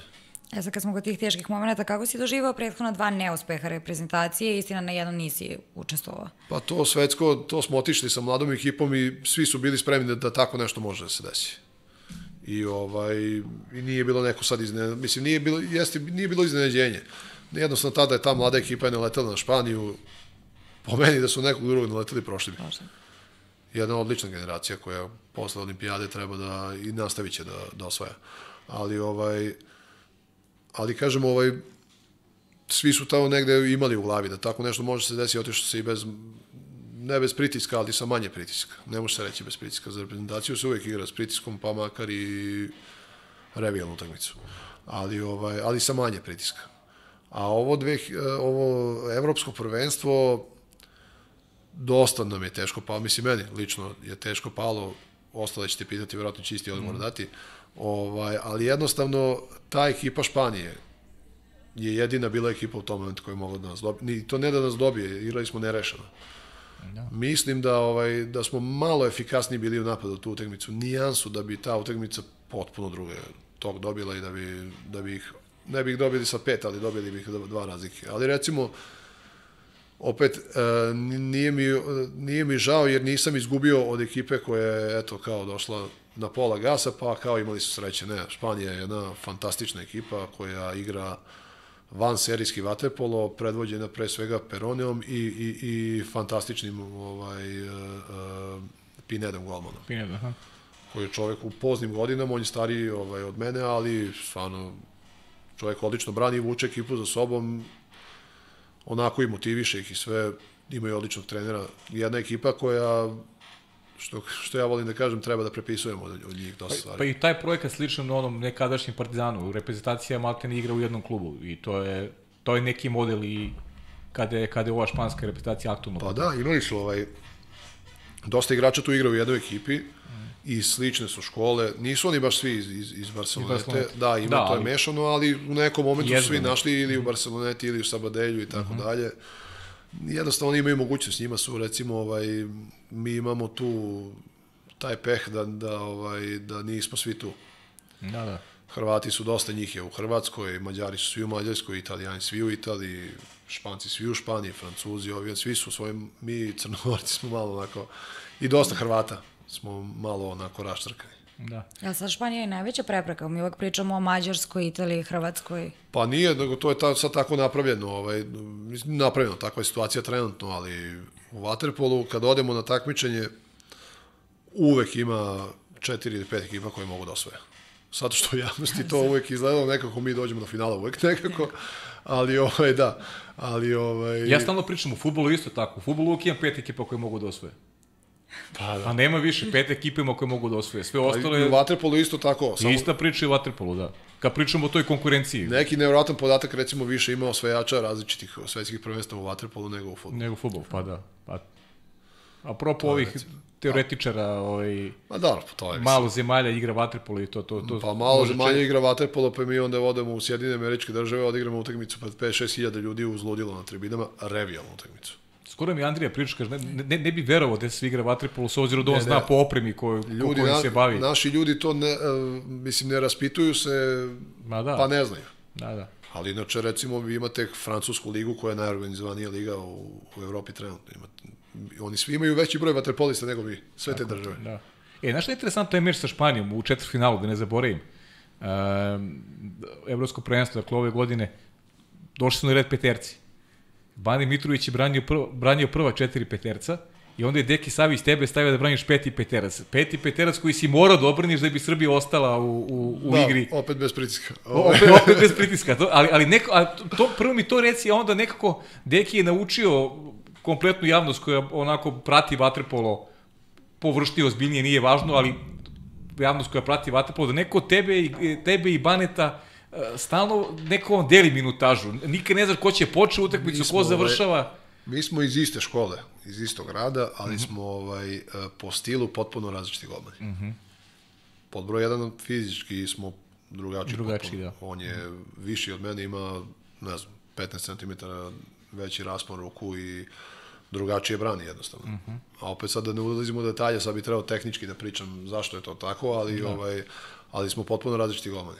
I ovaj i to je mislim najveći plus ove reprezentacije kako jedan od najvećih pluseva na golu je što nas dvojice jako dobro funkcionišemo zajedno. Mhm. Mm I zajedno smo i u sobi i jedan drugog ovaj ne bodrimo, ali učimo jedan drugog često. Mhm. Mm uvek imamo određene šuteve, određene šuteve u glavi i uvek ih izbacujemo pred utakmice jedan drugom govorimo šta i kako. I u toku utakmice mi znamo, recimo tačno kad se pogledamo, znamo kako, šta i ko. Uh -huh. I ovaj, to je često, ja recimo znam na golu kad sam Branislav Mitroviću, kad igrač ima loptu, imam ga ponekad u ovaj u video krugu da on meni pokaže. Uh -huh. I često se on ka meni okrene kad je peterac ili kad neko treba da šutne ili tako nešto. Često ovaj, mi nas jako dobro funkcionišemo, opet potpuno smo različiti, stilovi su nam potpuno različiti. Mm -hmm. Iako taj- smo iz iste škole. A taj peti peterac? Pa taj peti peterac, evo, ne znam šta ti, žao mi je što nisam 3 cm niže stavio tu levu ruku, što nisam samo prst mali, malo ne mogu da stavio. setim da li si bio blizu, zaboravio. Jes. Jesi, ja? Malo mi je falilo, ovaj, pa dobro, šta sad, mislim. Pa ne, naravno, to, to je sport. Nisam ovaj, svako krenuo da se znojim kad, kad setim toga, ali ovaj, ali eto, to je jedna od stvari koja me tera napad, recimo, me to sad nervira. Da, da, pa jasno. A I, kad se on- setiš... I onda, sam, I onda sam se vratio u klub, recimo u Radeu, posle dve i po nedelje osvojio kup protiv jače ekipe na peterce, od Vranja Zaljada. Da, da. Mm. Jer me nerviralo. Da, da, jasno, jasno. To me nervira i tako, uglavnom tako i funkcionišem. Iznerviram se i onda radim jače. da, da, da, da, pa dobro. Nije loše, inat, sam sebi na... da, da, da. Što je karakteristično za nas. Pa dobro, generalno jeste, da. A, iznerviraš se kad se setiš toga, ali kako se osjećaš kad se setiš dočeka ispred Skupštine? Doček ispred Skupštine je nešto, Si zapevao nekad, nisi? Pa sad, zavisi kao koju pesmu. Ismisli skupštine. Nisam, Nisi. mikrofon ne dodirujem, ali ovaj, jer nemam baš ovaj, onako pevački glas, Aha. ali ovaj, ali onako prvi put kada sam kada smo došli pred skupštine 2009. godine to je to mi je bilo onako se sećam priča tada ovaj kada su košarkaši 95 95 košarkaši kada su 95 ili 6. sad. Da, ono, Otinu kada su da, da. 95. Kada su 95. došli i sad ovaj, sećam se da sam ja bio kući i gledao taj doček i da je mama moja bila nešto tamo u kuhinji, ne znam mm -hmm. da li mhm. pravo sude šta je bilo. I, ovaj, I da sam je baš rekao tada, ona se toga jako dobro seća i to mi pripričao milijon puta da bi voleo da jednom ja ovako. Rekao sam mu jednog dana ja ovako. Mm -hmm. To kad mi se desilo, tu nisam mogu da, da se opasujem. Da, da, da. nisam znao šta me snašlo ti do, taj doček je kad vidite taj sav srećan narod i kad vidite koliko podršku ima, imamo, onda, onda je onako vredi Još svega. Još jači osjećaj. Mm. E, ko ti je najteži rival u karijeri? Na čiji udarci nisi imun i koga onako pamtiš kao i, i danas doživljavaš Meni kao... su najgori šuteri iz naše reprezentacije dvojica. Milan Aleksić i Miloš Ćuk. Mm -hmm. Jednostavno... Ne znaš gde će šut? To? Pa ne da ne znam gde će, nego jednostavno ta, takav ritam šuta imaju da ja mogu normalno da i, i njima da branim i sve, ali jednostavno ovaj, svima, svi drugi ponekad i promaše, ali odvojice nikad. Znaš, Miće sam rekao, tu se na tvojom mestu, da on nikad nije promašio penal za reprezentaciju. Kaže, Nemoj da ga urekneš, molim te. Dobro, morao sam da mu kažem. Da posle... Nek promašuje posle Tokije. Pa da. Ovaj, pa nije, imaju, ima to, recimo, neki tip šuteva koji su meni, meni su recimo komplet, mogu da branim i mm -hmm. normalno kada smo i, i, i oni i ja u formi, to je reprezentativno i ovaj, onda normalno šutiramo treningu, ali treba mi dosta više snage. Aha. I ovaj, u tom smislu. Uh mhm. -huh. I imam neke šuteve, recimo, sad kako se... Koga bi mogao da izvojim, ne, ne mogu sad no, ne pada mi na pamet okay. sad neko specijalno. I odvojice su sasvim dovoljni. Dovoljno. Odvojice su sasvim dovoljni, ali sad da nekoga izdvojim specijalno, u svakoj reprezentaciji imamo mi po jednog ili dvojicu koji nemoj da mi ovaj šutira. Da, da, dobro, naravno. E, sad da se Ne moraju oni to da znaju. Gledaće, gledaće ovo, pa ne moraju da, da saznaju. Ako gledaju, onda ćemo otkriti neke stvari. Tako je, stvari. tako je. A, kada smo pričali o Dušku, rekao si da u, kad ste bili mlađi niste bili toliko povezani. A, tom bratu? Da? Kome? Kome? Šala? A, prije tad niste bili toliko povezani. A, sada je verovatno, sad, kao što i sam rekao, vukli ste jedno drugo kroz cijelu karijeru. Ne, mi smo uvijek bili povezani, samo nismo Ne, ne, mislim, niste toliko da. to, da, to, kroz sport, sport, na to i mislim. A, koliko se često posvađaš s njim? Da li se posvađaš sa njim? Pa ja ne znam, ovaj, ko ima brata, zna da se najviše svađa sa bratom. I to su svađe, to su onako naj, ovaj, žustrije svađe, ali dobro, više sad smo već ovaj, u određenim godinama, kad to više nema smisla. Da. Ovaj, ali uh, sa bratom se najiskrenije posveđam zato što znam da ovaj da to neće nikad imati nikakav kontraefekt. Ili kad je u pravu. Lakše mu je da mu kažeš sve što ti padne na pamet. To. Pa ne, nego ću njemu uvek sigurno reći, apsolutno, inače, inače ja ovaj, baš i nemam dlake na jeziku, mm -hmm. ali, ovaj, ali njemu ću reći sigurno šta da, mislim. Da, pa dobro, naravno. A ste i najveća podrška da, jedno drugom, ali kroz cijelu karijeru. Ali opet da. da. S druge strane je ovo mnogo, mnogo bolje. Ali zaista nekad među vama u ekipi, to stalno pitam i pošto to toliko deluje da, da ste vi onako jedna, jedna savršena grupa, jedna skladna grupa, onako mi to ne možemo da vidimo iza kulisa, ali prepostavljam da nekad i dosadite jedni drugima pa da dođe do nekih iskri, ili se dešava nekad da, da, da, da Pa, da se posveđate. Za ovu ekipu stvarno, meni je, ovaj, sad kad, kad mi tako postaviš pitanje, pa razmišljam malo o tom pogledu, stvarno re, jako redko. Mislim, uh mhm. -huh. skoro uopšte. Uh mhm. -huh. Nešto onako, sad baš razmišljam, jako, ne, skoro, ni, skoro nikako.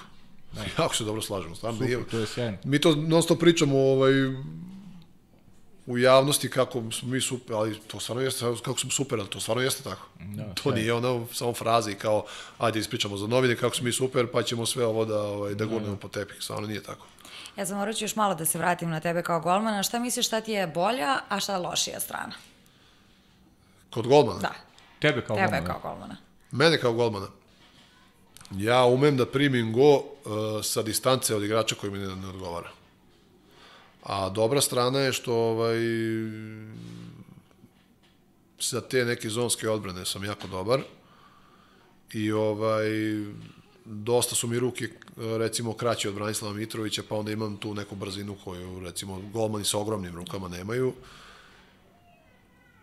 I, um, i umem ponekad, evo, kad već, ne volim se hvalim, ali ajde, umem ponekad psihički dignem ekipu svojom odbranom. Ponekad umem baš da i zaurlam i sve, čak i u ovim godinama. Što je najbitnije. Da. Pa do, to jeste neka Pa, uloga, uloga da, ali golmana, ali... to, je, to je nešto što čoveku ili dođe ili ne dođe. Da, pa dobro. Tu nema, ovaj, to se ne uči. Kaži mi kako izgleda golmanski trening, ajde, pitali smo to i... Pitali smo to Pa i sad zavisi kako u, ti u, kom desi, da. periodu, ali ovaj, recimo, ajde, recimo posle teretane, u osnovi vaterpolo trening izgleda sat ujutru je sat vremena teretane, dva sata bazena, uveče je sat i pol i dva bazena, sad zavisi kako u kom periodu. Ali posle teretane, recimo, ide neko zagrevanje, onda se obično otpliva jedan deo, pa se radi na nogama jedan deo i onda ide onaj, onaj sa igračima na golu. Tako da ima tu sad, o tome bi mogli 5 sati da pričamo, ali Kad budeš drugi put gost, pa kad ćemo... budem drugi put gost, pa kad budem imali 6 sati na raspolaganju, Baš. ovaj, Pa do, dobro, skratit ćemo, ali pričat ćemo ponovo. Ove E. teme koje smo absolvirali nećemo, pa pričat ćemo Dobro, neki drugi. dobro. E, sad smo došli do mog omiljenog dela, uključili smo gledaoce i to si video, došlo je pregršt pitanja za tebe. Hoćemo da krenemo redom. Ovako, Marko 06 je pitao a, kako izgleda jedan običan dan u životu Gojka Pjetlovića. Probudim se ujutru u 7, popim kafu, doručkujem, u pola 9 sam u teretani, od, to govorimo u klubu, pošto mi to običan dan. Ovaj, od pola 9 do 10 sam u teretani, onda sam u bazenu do 12. U 12 se istežem i ovaj, tuširam, oblačim i onda sam u 1 na, na ručku. Ručam i onda sad zavisi. Uglavnom ili odem s nekim da se vidim, pa onda spavanje ili direktno spavanje, zavisi, ovaj, imam taj popodnevni odmor, obavezno sat vremena, probudim se, kažem, zavisi u Oradeji, nemam sad neke obaveze, nemam tamo ni puno ljudi sada ovaj, da se viđam, porodica mi je uglavnom ovde i onda nemam tih obaveza oko porodice. Ali kad ništa specijalno, kažem. I onda drugi trening Onda ide drugi trening večera i opet kući. kući. Tako da nije nešto sad specijalno, zanimljiv dan, ovaj, nisam ovaj, kao ovaj, dan. pa da, nisam sad neka, ono, da kažeš, kao ove poznate ličnosti kad krenu, pa kao ima i kamera, pa onda jedan dan sve obilaze prijatelje, kao ja vidi kako sam zauzet. ali, ovaj, ali recimo, uh, uh, ako je taj neki koji je postavio pitanje mlađi, jeste. E, onda, mogu, 2006. e, onda, da, onda mogu da mu kažem tačno kako mi je izgledao dan kada sam bio u srednjoj školi. U srednjoj školi kada sam bio, ovaj, probudim se u 7, u 8 se trenira. U Novom Sadu se tada treniralo u 8 ujutru do 10 i u 8 uveče do 10. Probudim se u, u, u, u 7, u 8 sam na treningu, do 10, oko 11, pola 12 sam kući, jedem, spakujem se za školu i idem u školi. O, idem u školi. Kako vidiš? Do, vreme, daš, već... Da, vidiš, do, već- pričamo već dosta. malo opada Pa, koncentracija, do, da, pričamo vidiš. dosta. Dobro, zadržali smo ovaj, Da, jesmo. I ovaj, onda sam u školi do, do večernjeg treninga. Uh -huh. Eventualno, ako se ranije završi, odem samo da ovaj, uzmem stvari, ali uglavnom podnesem stvari za sobom i onda sam ovaj, do 11 negde trening, pa onda u kući se vratim oko 11. Uh -huh.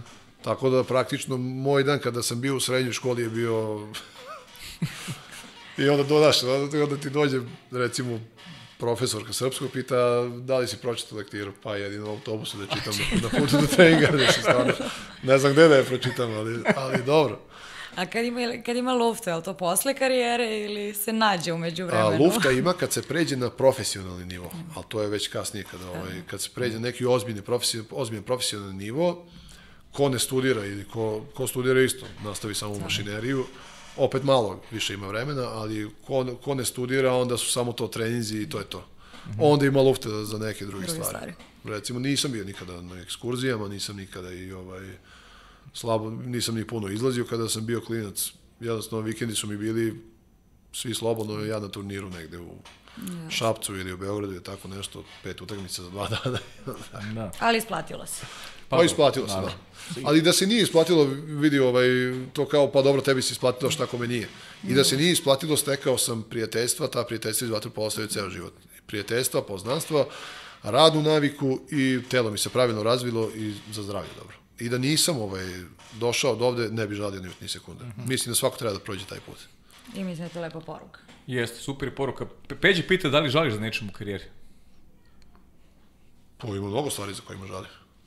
Ima bar milion stvari za kojima, za kojima žalim, ali ne bi nijednu menjao zato što ovaj, Dobro, pa i sve je to bilo na putu dole.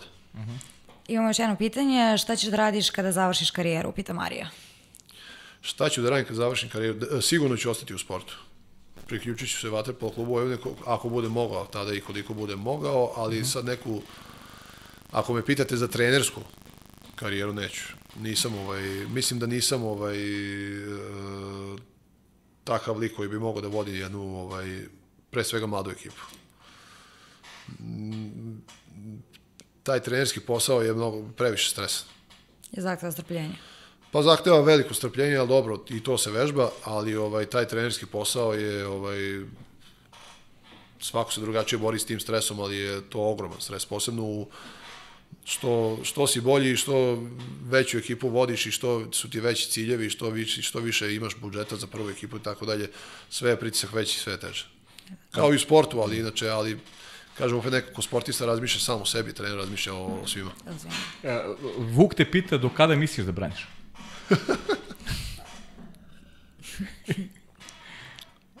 Da znam. Ne znam, dok Ne te znam. sluša telo, šta? Ne, telo me, sad ne smijem da kucam u drvo Pa zbog dobro, mikrofona, da. ali, Da. ovaj, ali telo me sluša jako dobro. Super. Mislio sam iskreno, nisam znao da će, da će ovako da, ovaj, uh Mhm. -huh. mislio da će to biti mnogo gore. Ni, sad kažem opet, ne smijem da kažem, ali ovaj, ali telo me sluša. Pa zašto si izabrao da budeš golman da manje plivaš? Znao si ti šta radiš. Tako, da, Znao vjerojatno bi završio karijeru s 33 godine da sam ovaj, da, ne, da nije došlo do te odluke. Da. Da. E sad Nenad pita da li pratiš druge sportove i da li se družiš sa nekima iz drugih sportova. A, družim se sa dosta ljudi iz drugih sportova, a sport ne pratim uopšte. Uopšte. Pošteno. E, Peđa 0-11. Ne, izvini, mo- molim te, pratim uh, NBA. NBA pratiš. Volim NBA i pratio sam ga kao klinac i ovaj, to mi je super. Meni je košarka, ja se bavim vaterpolom, ali mi je košarka bila je jedan od dva omiljena sporta i dinamična je, može doći do velikih promena, veliki su pritisci i tako dalje. Meni se košarka jako sviđa, čak zato sam i sin upisao na košarku. I vaterpol i košarku trenira, ali meni košarka nekako bila uvek A odlična. njemu? Pa oni otprilike za sport imaju isto interesovanje koliko i ja. Ali, ovaj, ali vidim da vidjet će mali, ima 10 godina, tako da Do tad ima vremena. Ima vremena. Pričat ćemo o tome malo, mislim sad pre kraja. Dobro. E, Peđa 011, jedno interesantno pitanje. Možda ima veze sa našim poslom. Kaže, kakve su iskustva sa novinarima? Da li imaš omiljeni intervju ili neki kojim pamtiš po loše? Pa nemam pravo da ti kažem, ja nisam ovaj, e, e, s novinarima, ja nemam loše iskustva. Uh -huh. Nisu do sad bile neke izjave da su ovaj, skandalozni i tako dalje.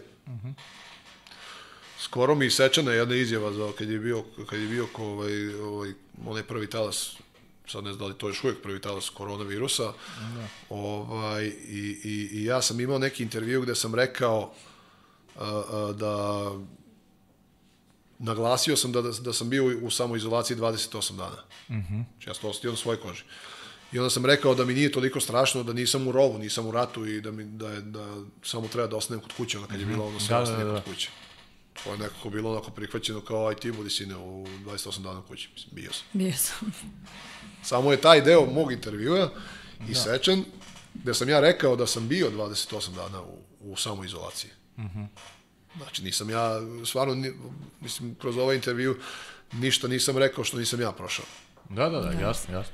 jasno. Tako da, ovaj, a sa novinarima je stvarno do sada, uglavnom su me ispoštovali moje izjave i tako dalje. Nisam imao loše iskustva i na novinare u svojoj karijeri, mada nisam ja sad neka, nisam Novak Đoković pa da me prate u stopu, ali Dobro, ovaj, okej. daleko, mislim, svetlosnim godinama daleko, ali ovaj, ali kažem nisam imao neko.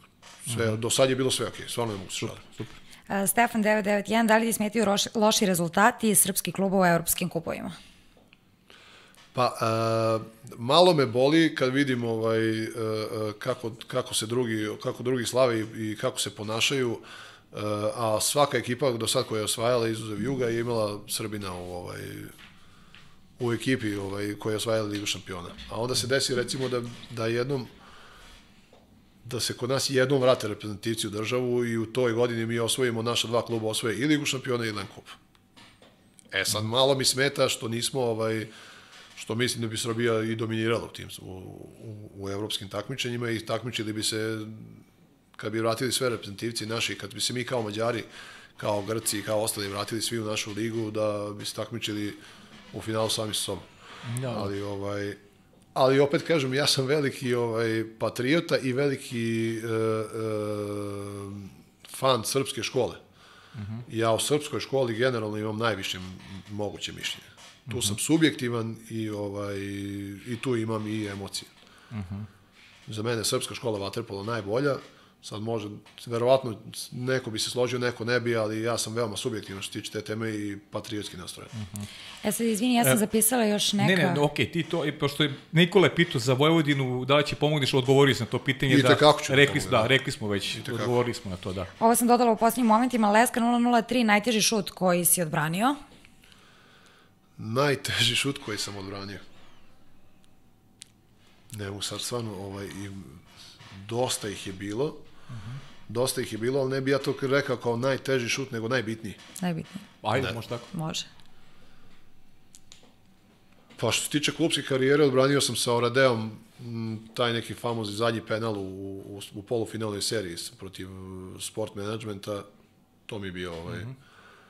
onako naj, najteži, najviše pritiska je bilo, pune su tribine tada, bile u Oradeji, ceo grad se sjatio tada da gleda.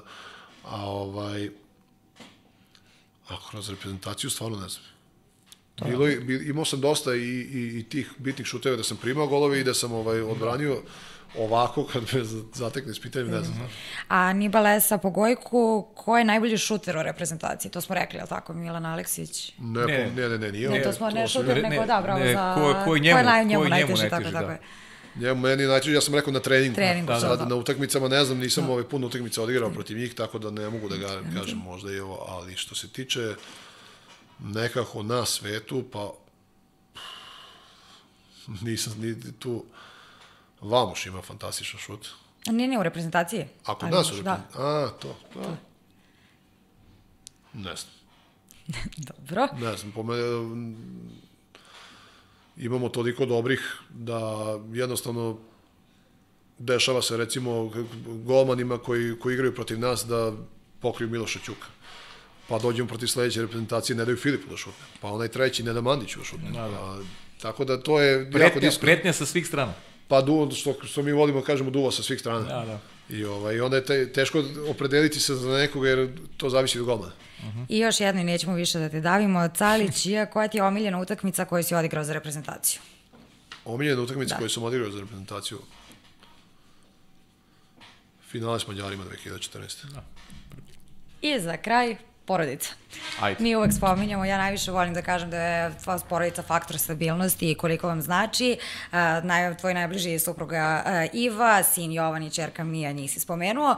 I pre nego što nam nešto kažeš o njima, možda bi mogli da pogledamo jedan video. Ćao Paja, ćao Marina.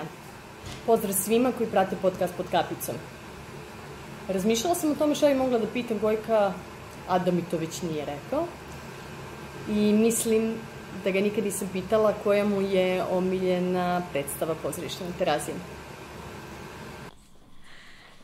Eto, ključili To je inače Iva, Gojkova da, supruga. Ona je ovaj, balerina u, to jest u baletskom ansamblu pozorišta na terazijama i ovaj, Da, interesantno, nikada me nije pitala koja mi je omiljena. E, pa ajde. A sve sam i gledao. sve ti gledao. Ajde, čujem. Sve sam i gledao, da. To je, mislim, pre svega da kažem, fascinantno je da ja ovaj, sam počeo da gledam i baletske i, i predstave i mjuzikle koji sam, ovaj, nisam baš taj tip, ali, ovaj, ali eto, kako ti život Šta ti je ljubav? Pa, eto, da, jeste. I ovaj, omiljena predstava dve. Neki to vole vruće, uh -huh. to je jedan fantastičan mjuzikl. Ovaj, I bila je jedna predstava koja se više ne prikazuje. A, to je modern balet koji se meni dopao i zbog muzike i zbog cele onako Scenografija. scenografija, nije scenografija, manje više scenografija nego ovaj, izvedbe tog baletskog ansambla, jer znao sam tada, čuo sam za tu, za popularnu balerinu Aški Nataljanca. Uh -huh. I ona je napravila na sebi neku oproštenu tada predstavu, zvala se La Capinera. Ona se više ne, ne prikazuje i tu je bio neki italijanski reditelj i tako dalje. Stvarno jedna odlična predstava, ja tada nisam znao ništa o baletu u to vreme uh -huh. kada sam to gledao. Ništa nisam znao o baletu, ali ovaj, e, kad smo počeli da se zabavljamo, oni su počeli da spremaju tu predstavu i onda sam išao da gledam kako to sve izgleda.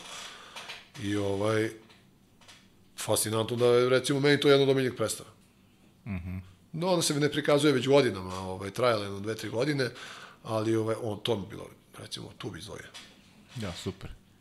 Ništa, ja, ja da se zahvalim ovako u lično ime i, i porodici Petrović, mislim, s te strane tvoje supruge koje da, jeste, ja i da, poznajem da. lično, tako da Tako da ovaj hvala tako, hvala tako na asistenciji.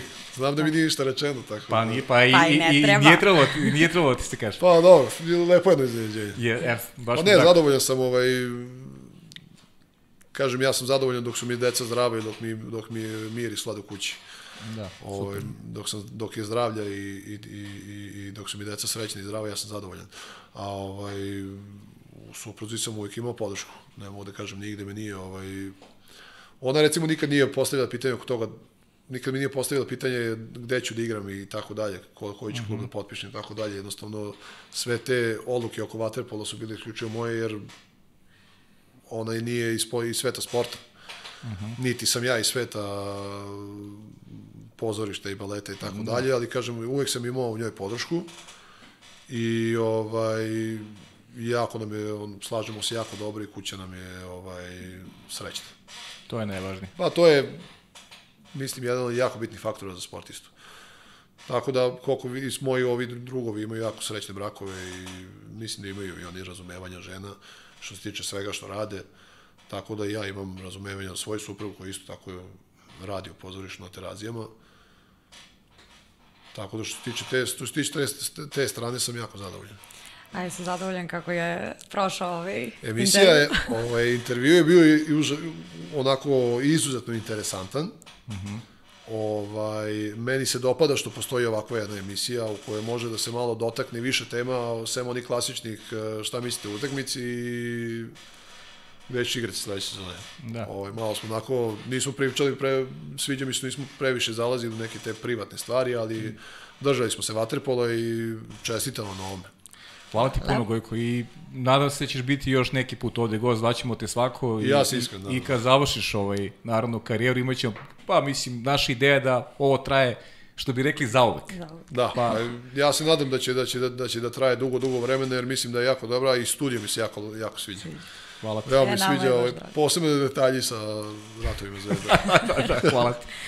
E, za pa ćemo da najavimo ko nam je sledeći gost. Velika nam je čast što će s nama biti jedan od najboljih u istoriji srpskog i svetskog vaterpola. Pa da, definitivno dolazi nam Aleksandar Šapić sledeće nedelje, tako da eto, imat ćemo nove teme iz ugla njegove generacije, iz ugla onoga što radi trenutno i u Vaterpolo klubu Novi Beograd, koji je jedan, da kažem, relativno novi klub na, na Vaterpolo sceni. Pripremamo i neke nove goste, o tome ćemo vas obavestiti tokom nedelja, ali eto, već u nedelje možete da šaljete pitanja za Aleksandar Šapić i ti ćeš da se po, više pozabaviš ovim tim, na tim stvarima. Da. A, bilo je zadovoljstvo družiti se sa Gojkom Pjetlovićem. Ostanite uz nas, spremajte pitanja za Aleksandra Šapića i družimo se narednog četvrtka.